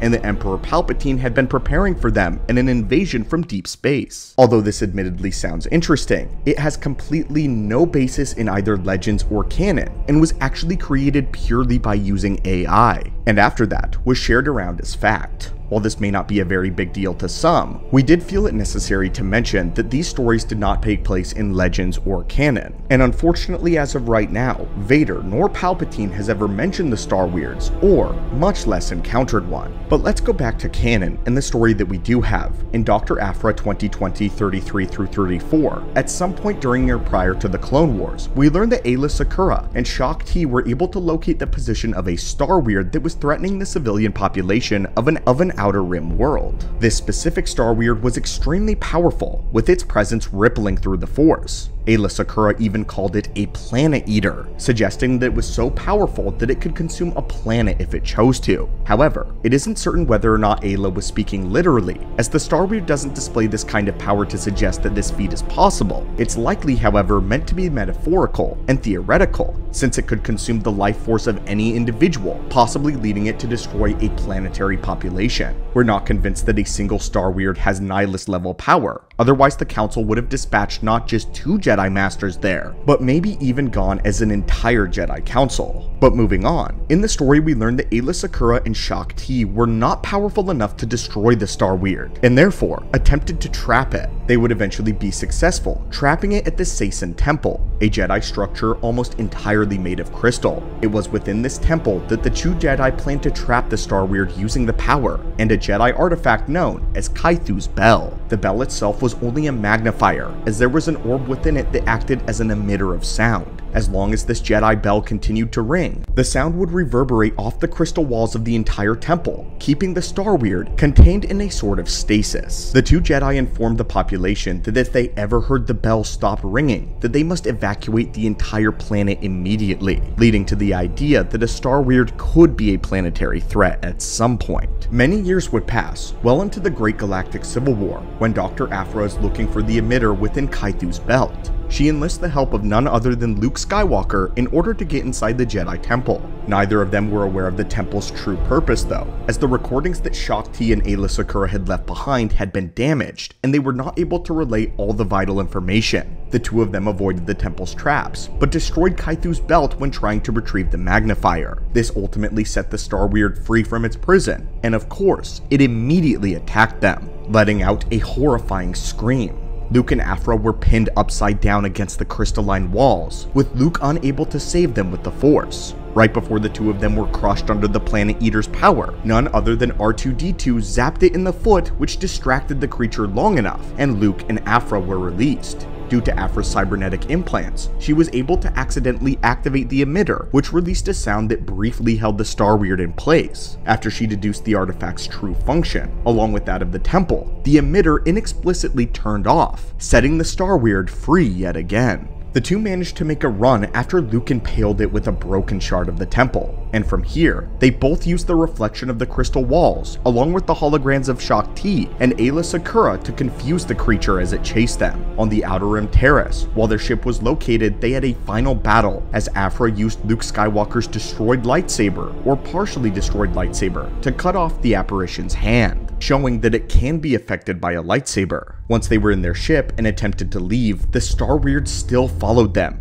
enraged and planning to totally destroy the two of them for their insolence. But Luke, with the bell's emitter in his hand, focused on the Force, hoping that something would happen. His Skywalker bloodline and potential absolutely shone through in this moment, as the artifact emitted such a powerful sound that it picked up a cyclone of Force energy, as the whirlwind of light side power was so strong that it ripped the Star Weird apart in totality. The Jedi considered the Star Weirds to be such a threat that they were hunted to near extinction distinction. This is what happened in Legends when the Jedi Council encountered the Star Weird Queen. There is very little information about this event, as it only exists in the Old Republic fact file, but according to this report, at some point during the Great Galactic War, around 3,681 years before the Battle of Yavin, the Star Weird Queen apparently had decided to annihilate the Jedi, and then move on to destroying all Force sensitives. For the first time in history, the mysterious culture of the Star Weirds was revealed now that the Queen herself had made a grand appearance, leading her haunted army.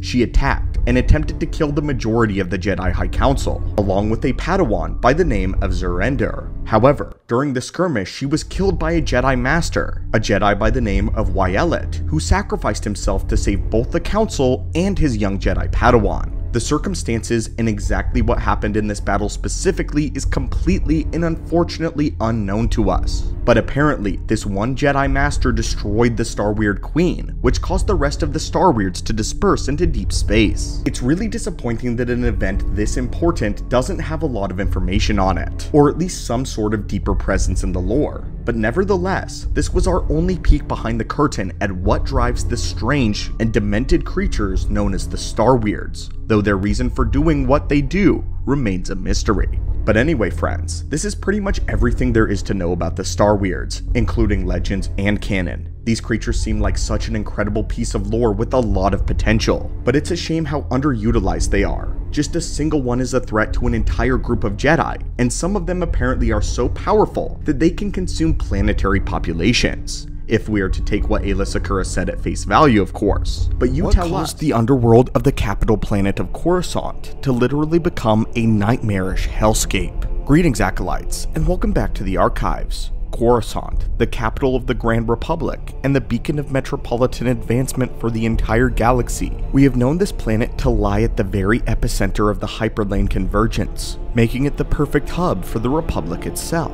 It is where the Senate convenes and the Jedi Temple rests. It's the kind of place where every being in the galaxy dreams of making it big. It is a planet of dreams, corruption, and nightmares. Even the most fabulous of the elite still have difficulty buying in and renting out places that they want to go on Coruscant. It is a planet which is now entirely made up of a pure cityscape. But that's all on the surface. The surface world of Coruscant and what lies beneath are two diametrically opposed things. We got to see a little bit of what the mid-surface levels were like during the Clone Wars, a crime-ridden, unsavory place filled with all kinds of scum and villainy, all of which culminates down in the infamous level 1313.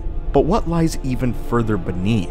What is Coruscant like in the places where the sun never shines? The levels so deep that they have become buried and forgotten by the rest of the galaxy. Well, my friends, that is what we are going to explore in today's holocron, so make sure your blaster has a fresh power pack within it, because you're going to need it as we descend into the depths of Coruscant. Before we begin though, our scanners have detected something concerning. Many of the acolytes that have visited our archives have not yet subscribed to our channel, so if you've been enjoying the daily Star Wars lore, reach out and crush that subscribe button.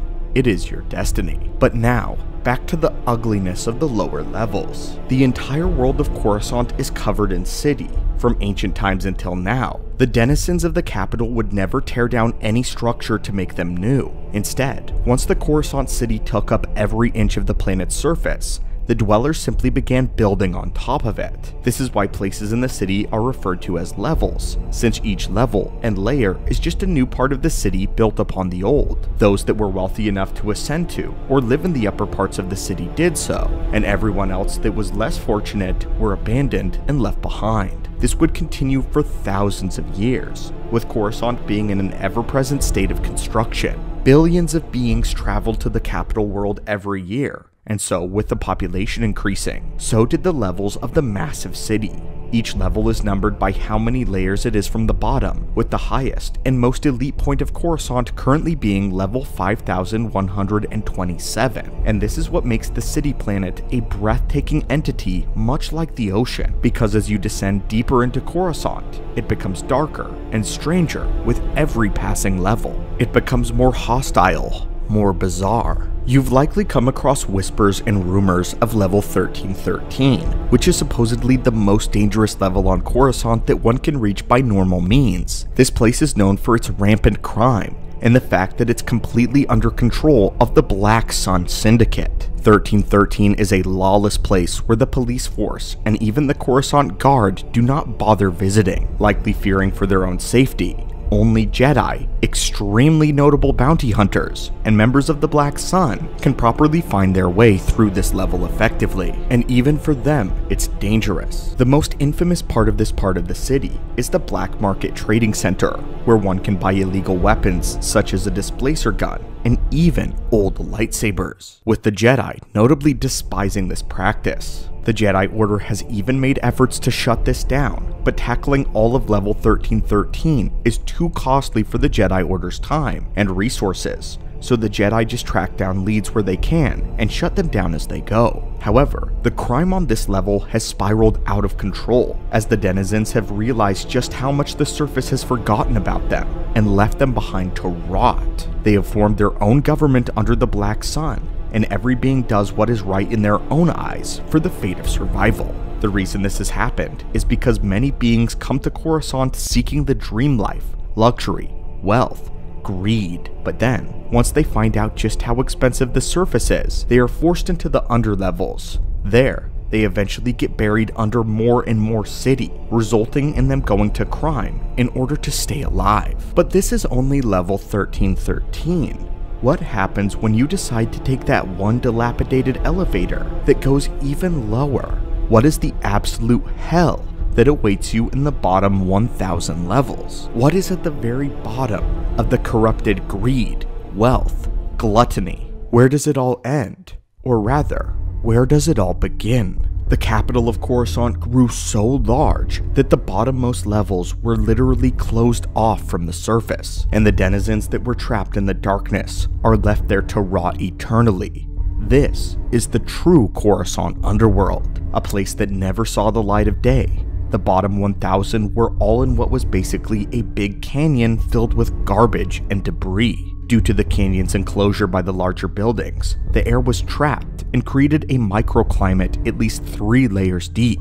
The trapped moisture caused rainstorms and convective wind patterns within the canyon floor, making the underworld like its own small planet. And it might as well be a completely different planet anyway, as it housed a larger population than many star systems did. Billions upon billions of beings were beyond the protection of the world's security force, leaving them at the mercy of gangs, thugs, exploiters, and of course, man-eating vermin, which we'll explore further in just a moment. The underworld was extremely dark, lit only by artificial light either from technology or natural fungi. It was loud, the air being filled with the banging and clanging of machinery, giving power to the more well-to-do surface dwellers. One might say the unique thing about the bottom 1000 is that maybe some are in touch with the natural surface of Coruscant as it once was. Unfortunately though, that is not the case. Not much is known about level 1, or any of the levels near it even,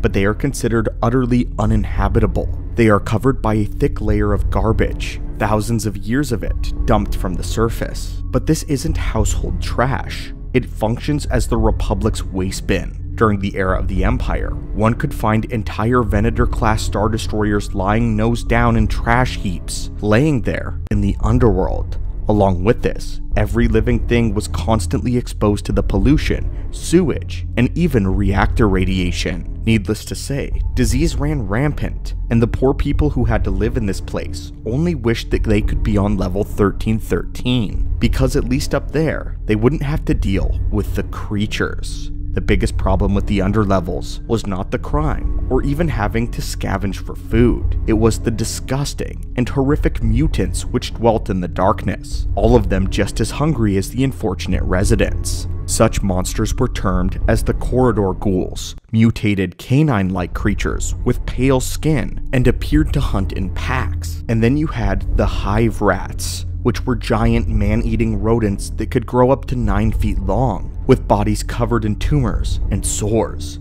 The only thing pleasant about the hive rats to the underdwellers was the fact that they preyed upon the Duracrete slugs. These were parasite mollusks that dug their tunnels into the building foundations, feeding off of the Duracrete within. This was then excreted from their skin, forming armor. They could grow up to 32 feet long, and if not kept in check, they caused all kinds of structural damage to the already unstable buildings in the underworld. But probably one of the most disturbing predators of this world would be the Cthons. In appearance, the Cthons resembled decaying corpses, with loose flaps of flesh, stringy, dirty hair, and lipless mouths filled with sharp teeth. Skin grew to cover the eyes, and there was an egg like organ where the eye should have been, moving restlessly, sealed within its sockets. These creatures craved flesh as their main diet, and unlike many things in the underworld, we actually do know where these awful beings came from, but it doesn't give us comfort.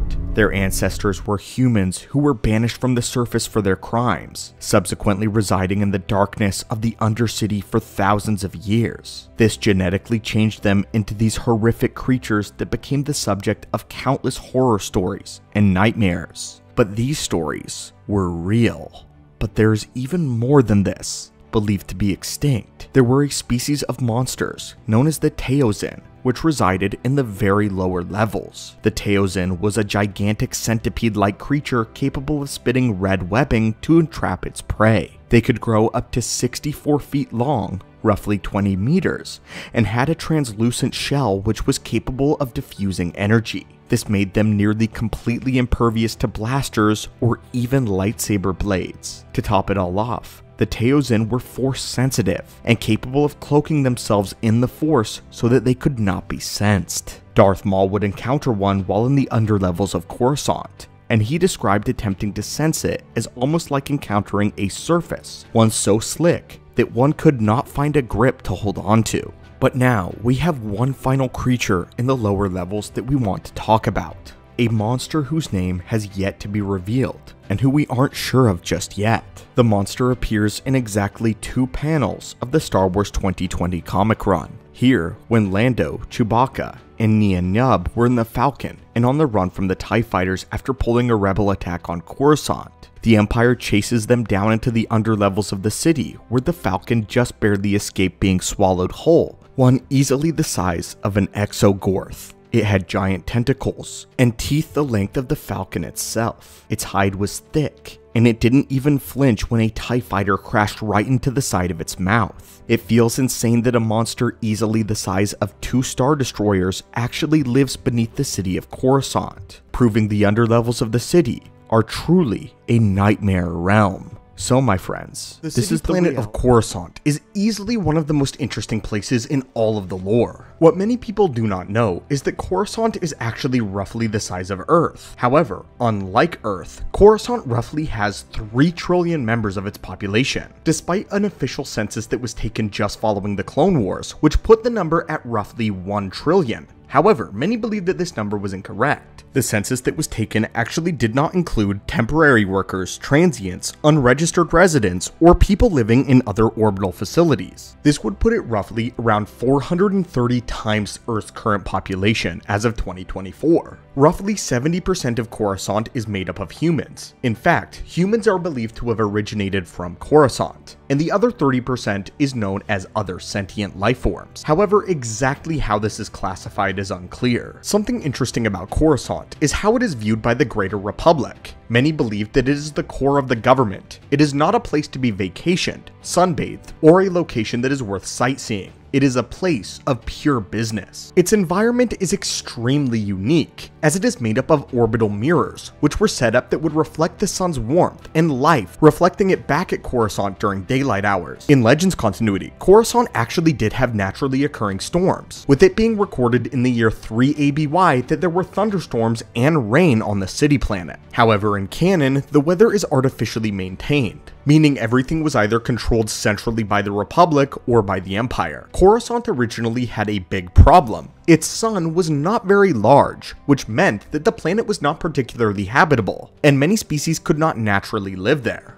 Coruscant also ran into a different problem, as its gigantic buildings created unusual and unpredictable microclimates, which caused varying degrees of temperature and air pressure between the higher and the lower altitudes within the tallest of Coruscant's buildings. When it came to air, there was a different problem. The upper levels of Coruscant were of course filtered, but there are 5,000 plus levels on the city planet. Essentially, the higher up you lived was marked by your air quality. The rich, the influential, and the wealthy had near perfect air. However, those that were left in the undercity, buried and forgotten, leveled by the trillions of pounds of waste that Coruscant produces every single day. The air was considered to be barely breathable, toxic fumes produced by millennia of the planet-wide cityscape's vehicle and factory waste, all of that compounded on the poor. Many of the most influential and richest citizens didn't even breathe air at all, but rather, a form of purified gas was their preference. Many people would even bring their own private air supply, not trusting the conditions of Coruscant. But there was yet another problem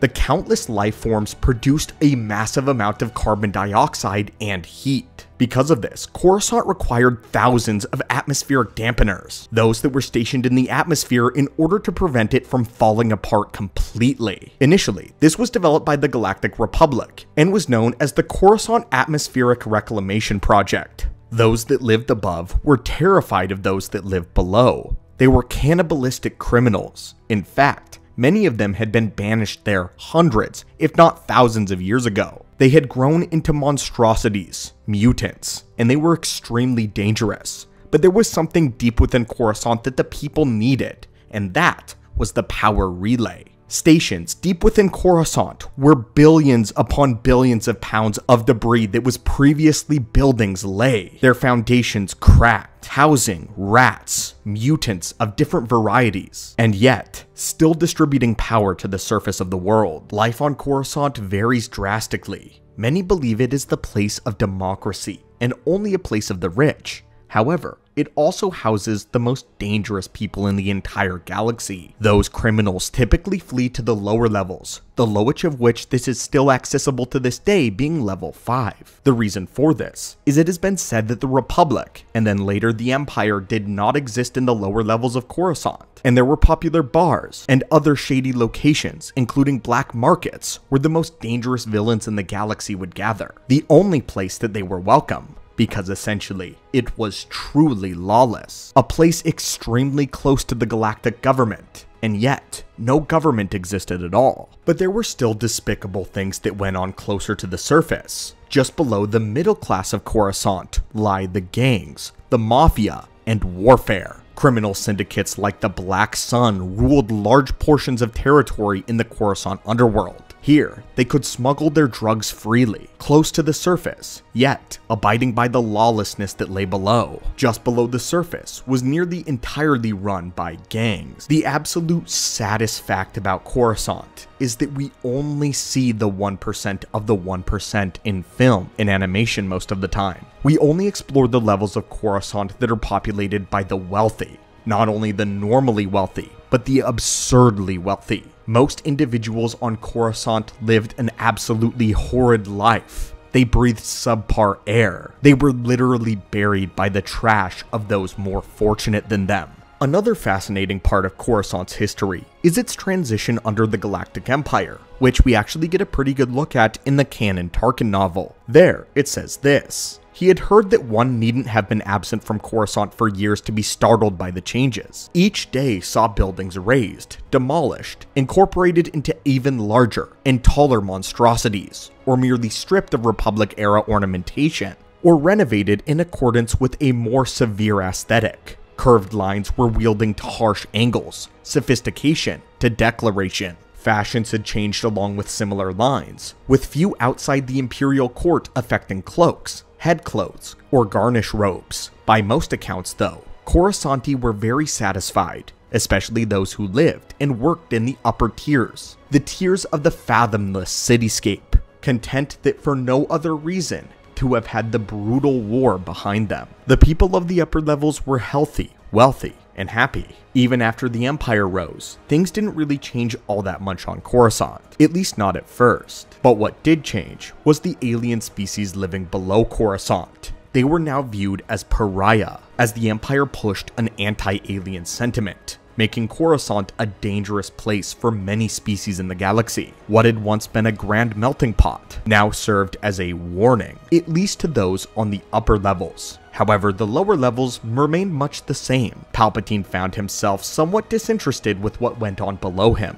and if they could not benefit him and did not hamper him, why would he mind? The Senate had not minded the existence of those less fortunate for hundreds of years. In Legends continuity, many of the criminal syndicates actually found their way to the upper levels of the city after the Empire fell, and the government crumbled before their eyes. So, at the end of the era known as the Old Sith Wars, Exar Kun spearheaded what would be one of the greatest Jedi wars ever fought against any Sith. Exar, Ulic Qel-Droma, and the dark side cult known as the Krath, as well as the Mandalorian Crusaders all came together to wage a conflict that nearly drove the Jedi to extinction. Though the Jedi won, it came at the cost of their homeworld, as well as the Great Library of Ossus, and the very structural integrity of the Jedi Order. The year was 3995 BBY when the fighting finally stopped, and Exar Kun was defeated. However, the Sith's influence still permeated through the galaxy in the form of Sith war beasts. Exar Kun, using the knowledge of Naga Sadow, and Nalima Keto both used the alchemy that they had discovered to create abominations of nature, such as the Cylon, the War Worms, and most notably, the Terentateks. This would spark an event known as the Great Hunt, in which the Jedi Order would fan out across the galaxy, with the single goal to exterminate all traces of these Sith monsters. In today's Holocron, we are going to talk all about the Great Jedi Hunt, the beast that they fought, and how it came to an abrupt and a violent end. The Great Hunt was organized by the Jedi Council of this year, just one year after the ending of the Great Sith War. Though the Jedi Order was considerably weaker, they could not allow the creatures that Exar Kun and his followers had created to be left alive and wreak havoc. Monsters empowered by the dark side were a threat to anyone and everyone, especially those that could use the Force. We've talked extensively about the Terentateks on the channel before, but they were essentially smaller versions of the Rancor, with larger claws and jaws, spikes all over their back, and two tusks on either side of their mouth. They secreted a deadly venom, were resistant to the Force, and fed on the blood of Force sensitives. While under the control of the Sith, these creatures were used as both defensive measures to their tombs and hordes, as well as attack units to be unleashed on the battlefield. Once Exar Kun was killed though, the Terentateks were essentially roaming free without anyone keeping them in check. They were killing essentially anything that they came across, and it was the duty of the Jedi to put an end to this. The other notable abomination was known as the War Worm. These creatures date all the way back to the 12 Dark Jedi, as well as Sorzus Syn. It is believed that this Dark Jedi is the one that created them. This tradition would later be carried on most famously by Naga Sadow, who kept a war worm in his temple on Yavin 4, which of course, this would end up contributing to Exar Kun's fall to the dark side. The war worms were giant serpent-like creatures with, with spikes across the length of their back. They had huge fanged teeth, and at the smallest, they were the size of an average building. But at the largest, they could reach the length of the tallest Coruscant spire. But despite their size, they were also incredibly nimble, even deadly enough that Exar Kun took great care when approaching them. Interestingly, the warworms actually served little purpose in the Sith Empire, as they had been a side effect in Sith alchemy. Alchemy had altered the bodies of the asteroid-dwelling Exogorths, which were the large similar to the one in Empire. They almost ate the Millennium Falcon but one of the most horrific of these Sith beasts was known as the Cylon. It's difficult to describe exactly what these things were, as we only see part of them in a single comic book appearance. Our only appearance of the Cylon comes from Star Wars Tales number 1, Life, Death, and the Living Force. In this issue, a Padawan Obi-Wan Kenobi and a Jedi Master Qui-Gon Jinn come across a slumbering beast on the world of Arua. Qui-Gon believed that it had been the will of the Force for them to find one of the last remaining Sith war beasts, since its very existence was an affront to the living force. The monsters are aggressive and bloodthirsty. They are living in constant pain. Their bodies have been twisted beyond what is natural. The Cylons resemble Sarlaccs and live in large earthen structure. They are gargantuan mass mouths and tentacles, no apparent coherency to their biology, and unfortunately, this Sith war beast is one that we know the least about. But while these war beasts were a problem, the Terentatek was a new level threat entirely. The war worms never really ventured out where they were originally placed, and the Cylon were apparently very easy to kill despite their appearance. Qui-Gon and the young Obi-Wan were able to take one out rather quickly, and didn't even seem all that tired. It was the Terentateks, though, that terrorized the galaxy. They posed the most threat directly to the Jedi Order. Entire groups of Jedi would go missing when hunting down Terentateks. Killing any Sith war beast was monumental, as the Sith would alchemically optimize the creatures to become perfect killing machines. As a result, the Jedi would devise teams of consisting of powerful warriors, hunters, and Jedi who could influence the minds of the Terentatek. Coordinated attacks. Using this method, the Jedi would go on for the Great Hunt, and the hunt would last around three years. Over this hunt, the Jedi would cleanse the worlds of Tython, Onderon, Yavin 4, Kashyyyk, Tatooine, and even Korriban. While this resulted in the near total extinction of the Terentateks, the Great Hunt was not entirely successful, as it diminished and dwindled away Jedi resources drastically. The hunts of Kashyyyk and Korriban were complete failures, and many Jedi were killed in the ensuing battle. This specific event would mark the official end of the Great Hunt, as it was told to us in Star Wars Tales number 23. The story focuses on a team of well-accomplished Jedi, including a Twi'lek by the name of Guun Han Saresh, a noble Jedi who was staunchly believing in the Jedi way and held strict to the code, one who was willing to do literally anything to serve the cause. Instead of choosing a lightsaber, the Twi'lek Jedi was one of the few that only wielded a force-imbued sword, and even used a bow. Shaela Nuur was another Jedi,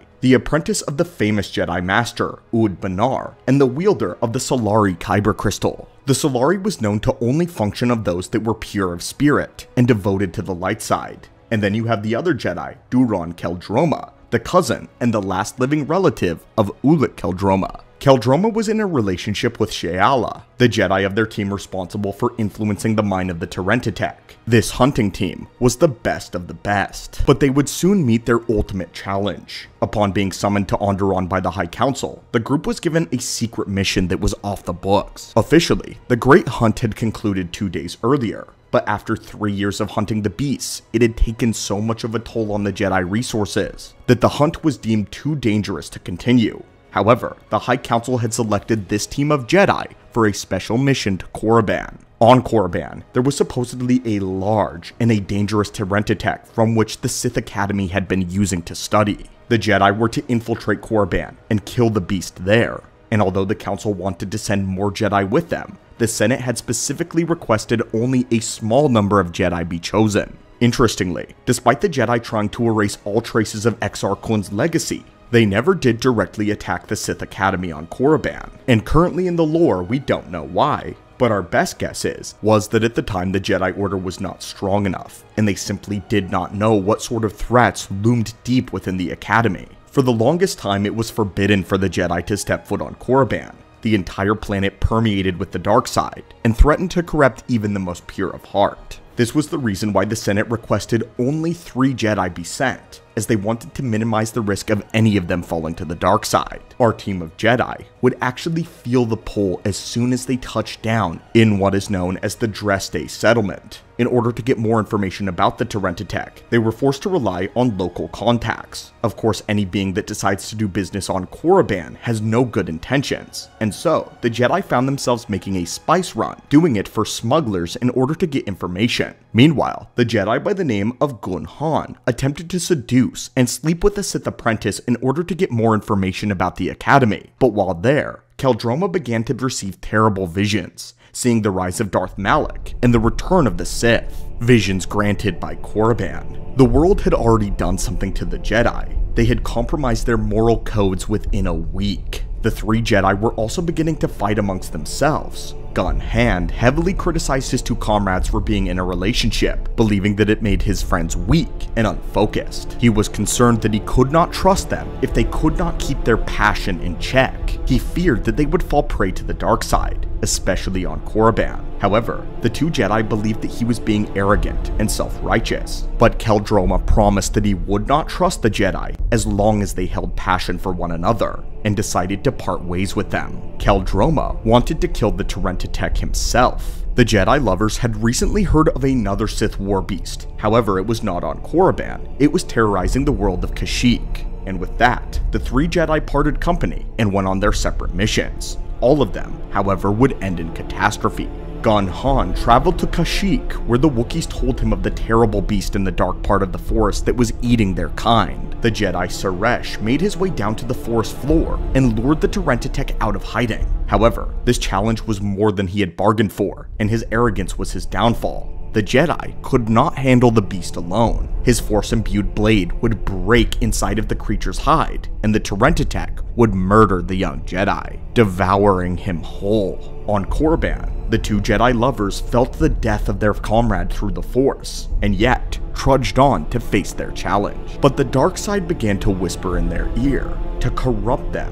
Korriban began to speak. The Jedi Duron was unable to make a mental contact with the Terentatek when they located it, attempting to confuse it, leaving the Jedi Shaela at a complete disadvantage when fighting the monster. The Jedi was skilled though, and held her own for a time. Eventually, Duron leapt into the battle to protect the Jedi, only to be instantly killed with a single slash of the Terentatek's venomous claws. Wounded, however, the Terentatek attempted to retreat, and in Duron's last moments, he received another vision of the Force, a vision of Revan wearing his cloak, while bringing down and killing Malak.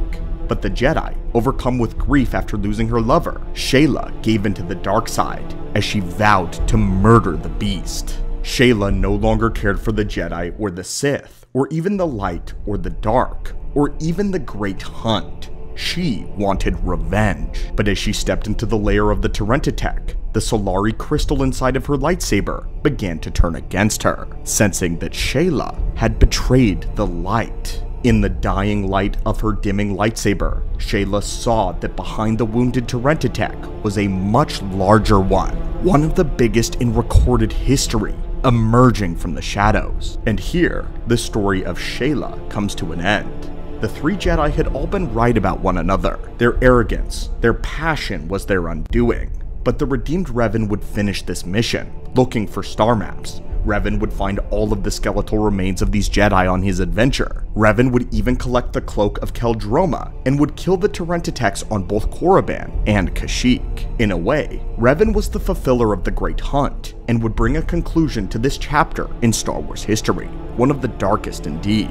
This is one of the eras of the Jedi history that is overshadowed and brushed over by many broader wars that the Jedi get into, but this is definitely one of those times that we believe is most dark in the lore. But what do you think, my friend? Crashes in Star Wars happen all of the time. For one reason or another, it was actually quite common for a ship full of people to get stranded on a remote world and forced to survive by any means necessary. Traveling through space was treacherous and cruel, not to mention unpredictable. For most groups, this simply meant rationing out food, preparing for rescue, and attempting to repair your ship. For others, though, this was perhaps a death sentence. But then there was the third category, those who had no food, no hope, but refused to simply accept death. They would instead lose their minds and began some of the most depraved and sickening practices to ensure their own survival and that of their children. That is how the story of the children of Dagobah begins. So, steel yourself, acolytes, because today we will enter one of the most terrifying holocrons that we have. The story of the children of Dagobah begins in the year 40 BBY, when a ship carrying a Republic survey team crash landed on Dagobah. The swamp world was pretty deadly to anyone who wasn't a trained force sensitive. As we know, the planet was full of monsters, those that lurk in the muddy waters, creatures that howl in the night from the darkness of the wood, predatory insects, disease, and of course, a heavy presence of the dark side. It is an unfriendly world indeed, and the survey team would each die one by one from various causes after crash landing there. A few of them by the carnivorous plants, but most of them by fever. Originally, they had been an exploratory group for the beginnings of a new republic, the Mappers of Stars, but that was all so long ago now. The children of this survey team had developed an immunity to this fever though, and so managed to survive the plague that would take their parents. But things would soon take a worse turn. The adults had run out of food, and the people had no idea how to forage. Besides, it wasn't as though Dagobah was exactly rich in sustenance. Now starving and completely out of options, the jungle took their minds, and the adults began to feed their children with the flesh of their dead companions. Each time one of their number died of the illness or of starvation, the adults would simply cook them up and feed them to their children. Very soon, they ran out of the dead though, and the adults began to feed the children from their own flesh until they too died. The children began to view this as a normal process, and thus began a cannibalistic society in order to survive the harsh world. The oldest of them, a boy named Galt, had only been 7 years old by the time that the last adult died. From that point forward, the children began to scour the jungle in search of any food. But of course, when one of them died, the feast would begin. They wouldn't be rediscovered actually until the year 1 ABY, when a group of smugglers landed on Dagobah in order to hide from the Empire. Among their group was an individual by the name of Platt Okeefe, the leader of the smugglers, her aide Truat, and most notably, two other kids by the name of Tash and Zak, as well as their uncle, Mammon Hoole. They had been on the run from the Empire ever since they survived the destruction of Alderaan, and were attempting to uncover the secrets of the Lost Jedi. As present, they were being chased down by Boba Fett, as the Imperials had deemed them a threat as they were pursuing surviving Jedi. But that was when this group too got stuck in the mud. Upon seeing the children there though, the group was terrified.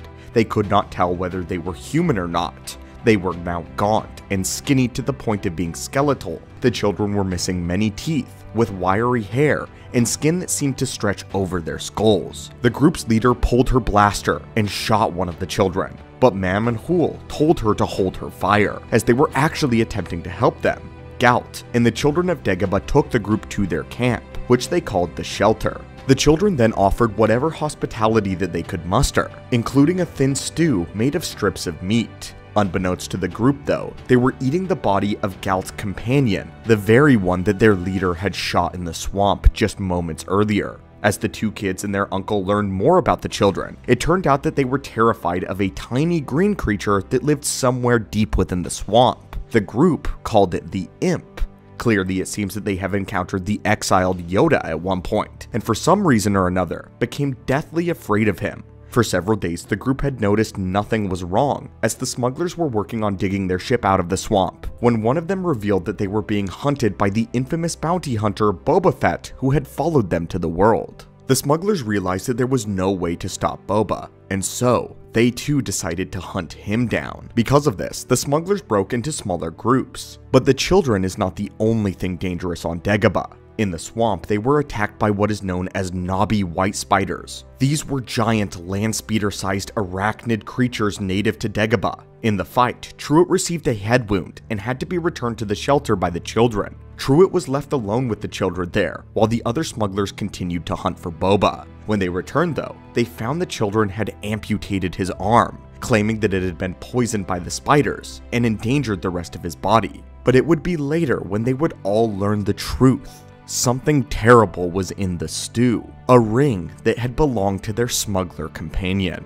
But the children were not done. They also began to amputate his leg by the time that the rest of the group returned to the camp. It seems that in their desperation that they had gone from tasting the dead to eating a man alive piece by piece. When Zak attempted to reveal it to the others, the leader, Galt, captured him and locked him up in a cage alongside Boba. Boba, who had also gotten captured by the children of Dagobah at some point earlier miraculously, showing how the children had mastered the jungle. Zak and Boba managed to escape their cage though, and Zak led the children on a chase through the swamp, one which ended up by the Dark Side Cave near Yoda's home. Zak, of course, had no idea what the place was, but he did end up escaping and would trap several children in the cave.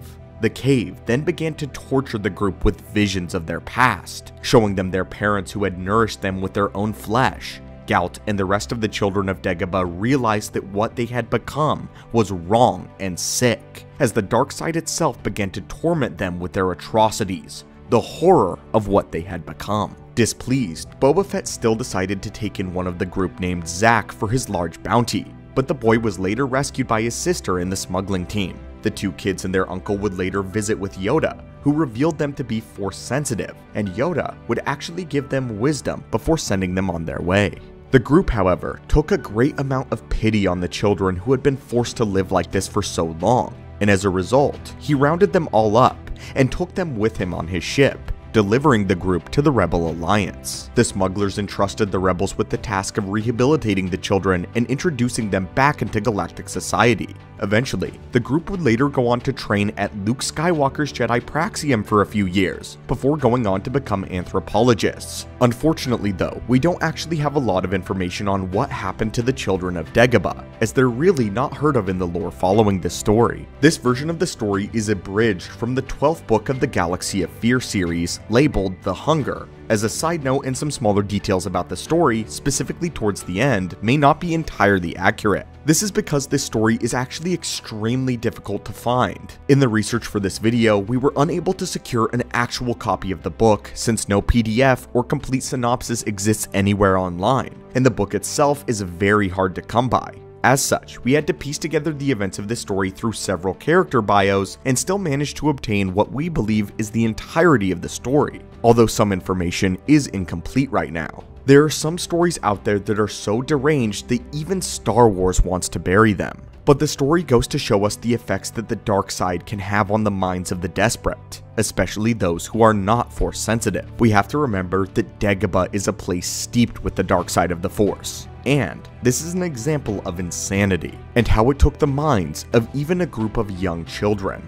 At the time of this many things that a Jedi has to fear. When the Force is your ally, they are the champions of light, wielding their power in the name of justice. But in the times when they are afraid, truly afraid, their power leaves them, and they are just as vulnerable as any other person would be. At all times, they must ensure that they remain courageous and turn away from fear, but there are things that even Jedi Masters are afraid of. Imagine, if you will, a being like Darth Nihilus, a monster of pure instinct that hunted individual Jedi for sport, a being which literally preyed on the living force and treated Jedi like lambs to the slaughter. Well, we believe that there could be something potentially worse than Darth Nihilus, there was a creature called the Nameless, which is a bit of a misnomer, especially considering the fact that it went by many names, including the Shrii Ka Rai, literally translating to the Eaters of the Force. Well my friends, welcome back to the archives, and in today's video Holocron, we will open up the dark mirrors of the galaxy and explore the terror of the Nameless, the monster under the bed of the Jedi Order. Now, let us begin. The Nameless hails from the planet known simply as X, located in deep wild space. The first appearance of the Nameless was during the time of the High Republic era, as they hatched from beautiful jewel-like eggs, traded around as precious trinkets. But of course, no one suspects the truth of what lay inside these mysterious eggs. Upon hatching, the Shrii Ka Rai are sludged like larvae that must feed immediately in order to grow and take form but as they become more of their true selves, the Nameless will gain its distinguishing features. They were very large humanoids, possessing four legs tipped with three long claws, claws which twitched uncontrollably as they moved. They had a long, stringy tail, and a broad head that features tentacles on the back, dangling around their mouth. Their skin was often deathly pale, and they possess glowing blue or red eyes. However, very few Force sensitives actually saw the Nameless in its true form. The Nameless had powers in the Force that it used to terrorize the Jedi, to seize their prey. Trying to sense the Nameless through the Force was extremely difficult. Someone could be lost to madness or see hallucinations, leaving them unable to truly see what the creature was. The hallucinations were different for every Jedi, resulting in perceptions of the creature varying from a towering monstrous being or simply a darkness with hundreds of teeth and eyes. The terror would overwhelm the senses of the Jedi, cutting them off from the Force, making them powerless to fight against their predator. When the Nameless would catch their prey, it would use its tentacles to drain the living Force from their bodies, leaving them as nothing but a gray, calcified husk, frozen in an eternal final scream. But what makes this creature so deadly is that it doesn't even have to personally encounter its victim in order to drain them. If the victim is within a certain distance of the Nameless, and it knows them, it can begin to slowly drain them of the Force. This rapidly ages the victim, and causes their vitals to gradually weaken, eventually shutting down until they become nothing but a husk. Even at a greater distance, the creatures obscure the Force from their victims, inducing a sense of dread and on the edge of one's consciousness, a magnifying existence of panic and exhaustion. The Nameless would feed off of the madness that they created within a Jedi's mind, it made them delicious. The worst part is that the process was slow. Some Jedi are thrown into an uncontrollable seizure every now and then, with the fear and confusion of the presence of the Nameless putting the Force user into a state of terror, in which they will feel cut off from the Force and reality. And the worst part is, the effects last for a long time. These creatures, just like Darth Nihilus, were driven by a desperate desire to feed a hunger, one that they could not satiate. Imagine, if you will, a species created by the dark side of the Force, the galaxy itself, to be an army of rabid Nihiluses. Unlike the Sith Lord of Legend, however, they understood absolutely nothing beyond this hunger, and were incapable of comprehending certain dangers of their well-being. The Nameless have been known to push through fatal wounds and hunt despite radiation poisoning. They could not be stopped until they were killed in totality, as they could not be controlled except through a few artifacts. The Jedi would soon discover this, combining the artifacts known as the Rod of Seasons with the Rod of Daybreak in order to form what they called the Rod of Power. It only took a single one of the Shrii Ka Rai, known as the Leveler, to scare the entirety of the Jedi Order of the High Republic though, despite this new weapon. The Leveler was let loose on Starlight Beacon, which was a space station isolated in the middle of space, and many powerful Jedi Masters were trapped inside there. One legendary Jedi of this era, by the name of Loden Greatstorm, would fall prey to the Leveler. The history of the Shrii Ka Rai and the Leveler itself is pretty intricate, so we'll offer a quick summary of their origins. Long ago, a family known as the Rose, deep in wild space had a history of conflict with the Jedi, causing them to unleash the species the Shrii Ka Rai. It was theorized, but never confirmed by the Jedi that the creatures were made using the dark side, and that they originated from the artifacts and the rods that we mentioned just briefly earlier. However, the fate of the family was sealed during this conflict, and all of them were nearly wiped out. Many of the rods were lost to history, as it was believed that the Nameless ran rampant. What was later thought to be a final egg of the Shrii Ka Rai made it into the hands of a cult by the name of the Path of the Open Hand. This cult believed that when anyone who could actually use the Force, including the Jedi, this made them innately extremely dangerous. So they began revering the beasts and worshipping them as the great equalizer of the galaxy, calling them the Great Levelers, believing that the creatures would make the galaxy an equal place for all through their mass mutilation of Force sensitives. They believed the Nameless to be an agent of balance, and the one who held the rod would control them as the champion of balance. The Path of the Open Hand planned to obtain the Rods of Power in order to control the beasts and unleash them once again on the Jedi. While the cult was looking for the rods, however, the egg would hatch prematurely when one of the cultists unleashed it to attack a group of Jedi. During the rampage in the holy city of Jedha, this beast would kill one Jedi after another,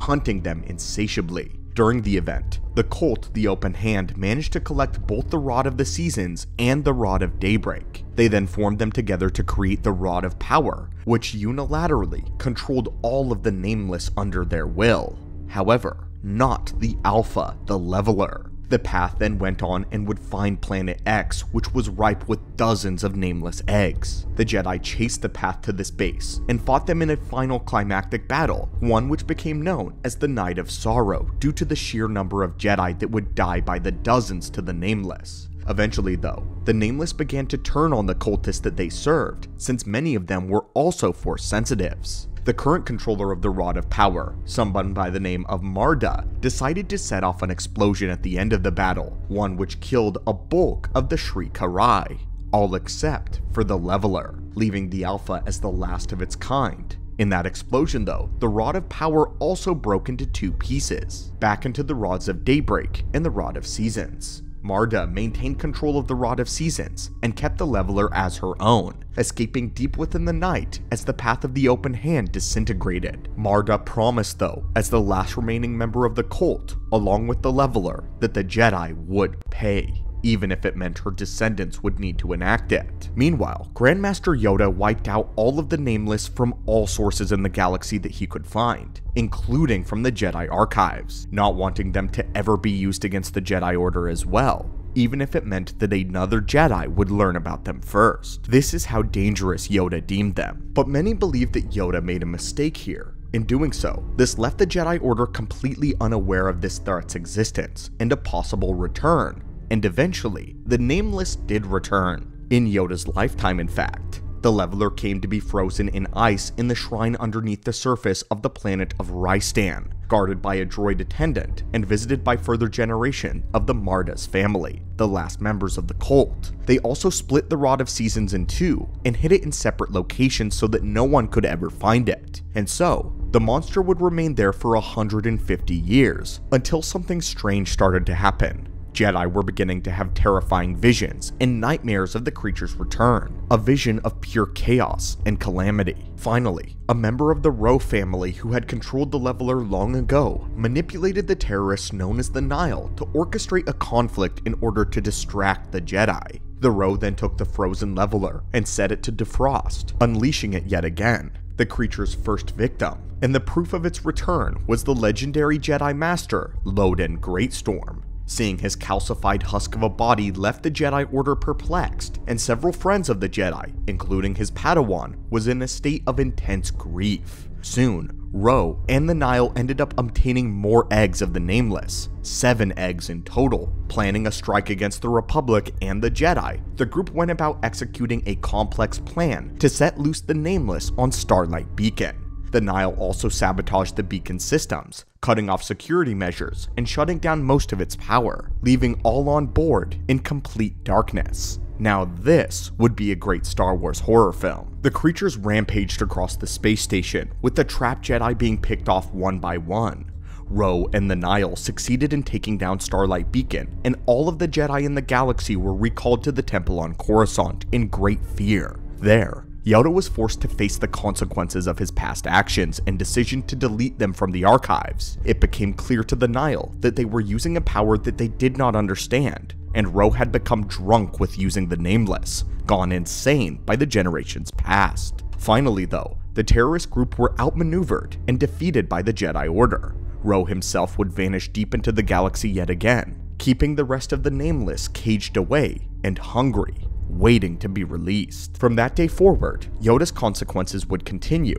The Nameless became legend. They were the subject of nursery rhymes, expressions, and old ghost stories. For generations, Jedi younglings traded fantastical stories about the creature, even up until the time that Dooku was a Padawan. Dooku even mentions once to Ventress how he thought himself above the rumored stories that his peers would share about these old monsters. It had become a haunt to the Jedi Order, the one thing that could spook them when nothing else ever would. Their own monster under the bed. But the worst part about these prophecies within the holocrons, including the holocron containing the prophecy of the Chosen One, mentions the return of the Nameless at some point in the future. This is one of the few enemies that the Jedi were unable to defeat, the only thing that really scares them to their core order wide. There aren't many things the Jedi fear. With the Force as their ally, they are champions of the light, the wielders of justice. But when it comes to the Nameless, out there in the stars waiting, hungry, the Jedi will never forget them. And now, neither will you. As always, my friends, may the Force be with you and have a phenomenal day.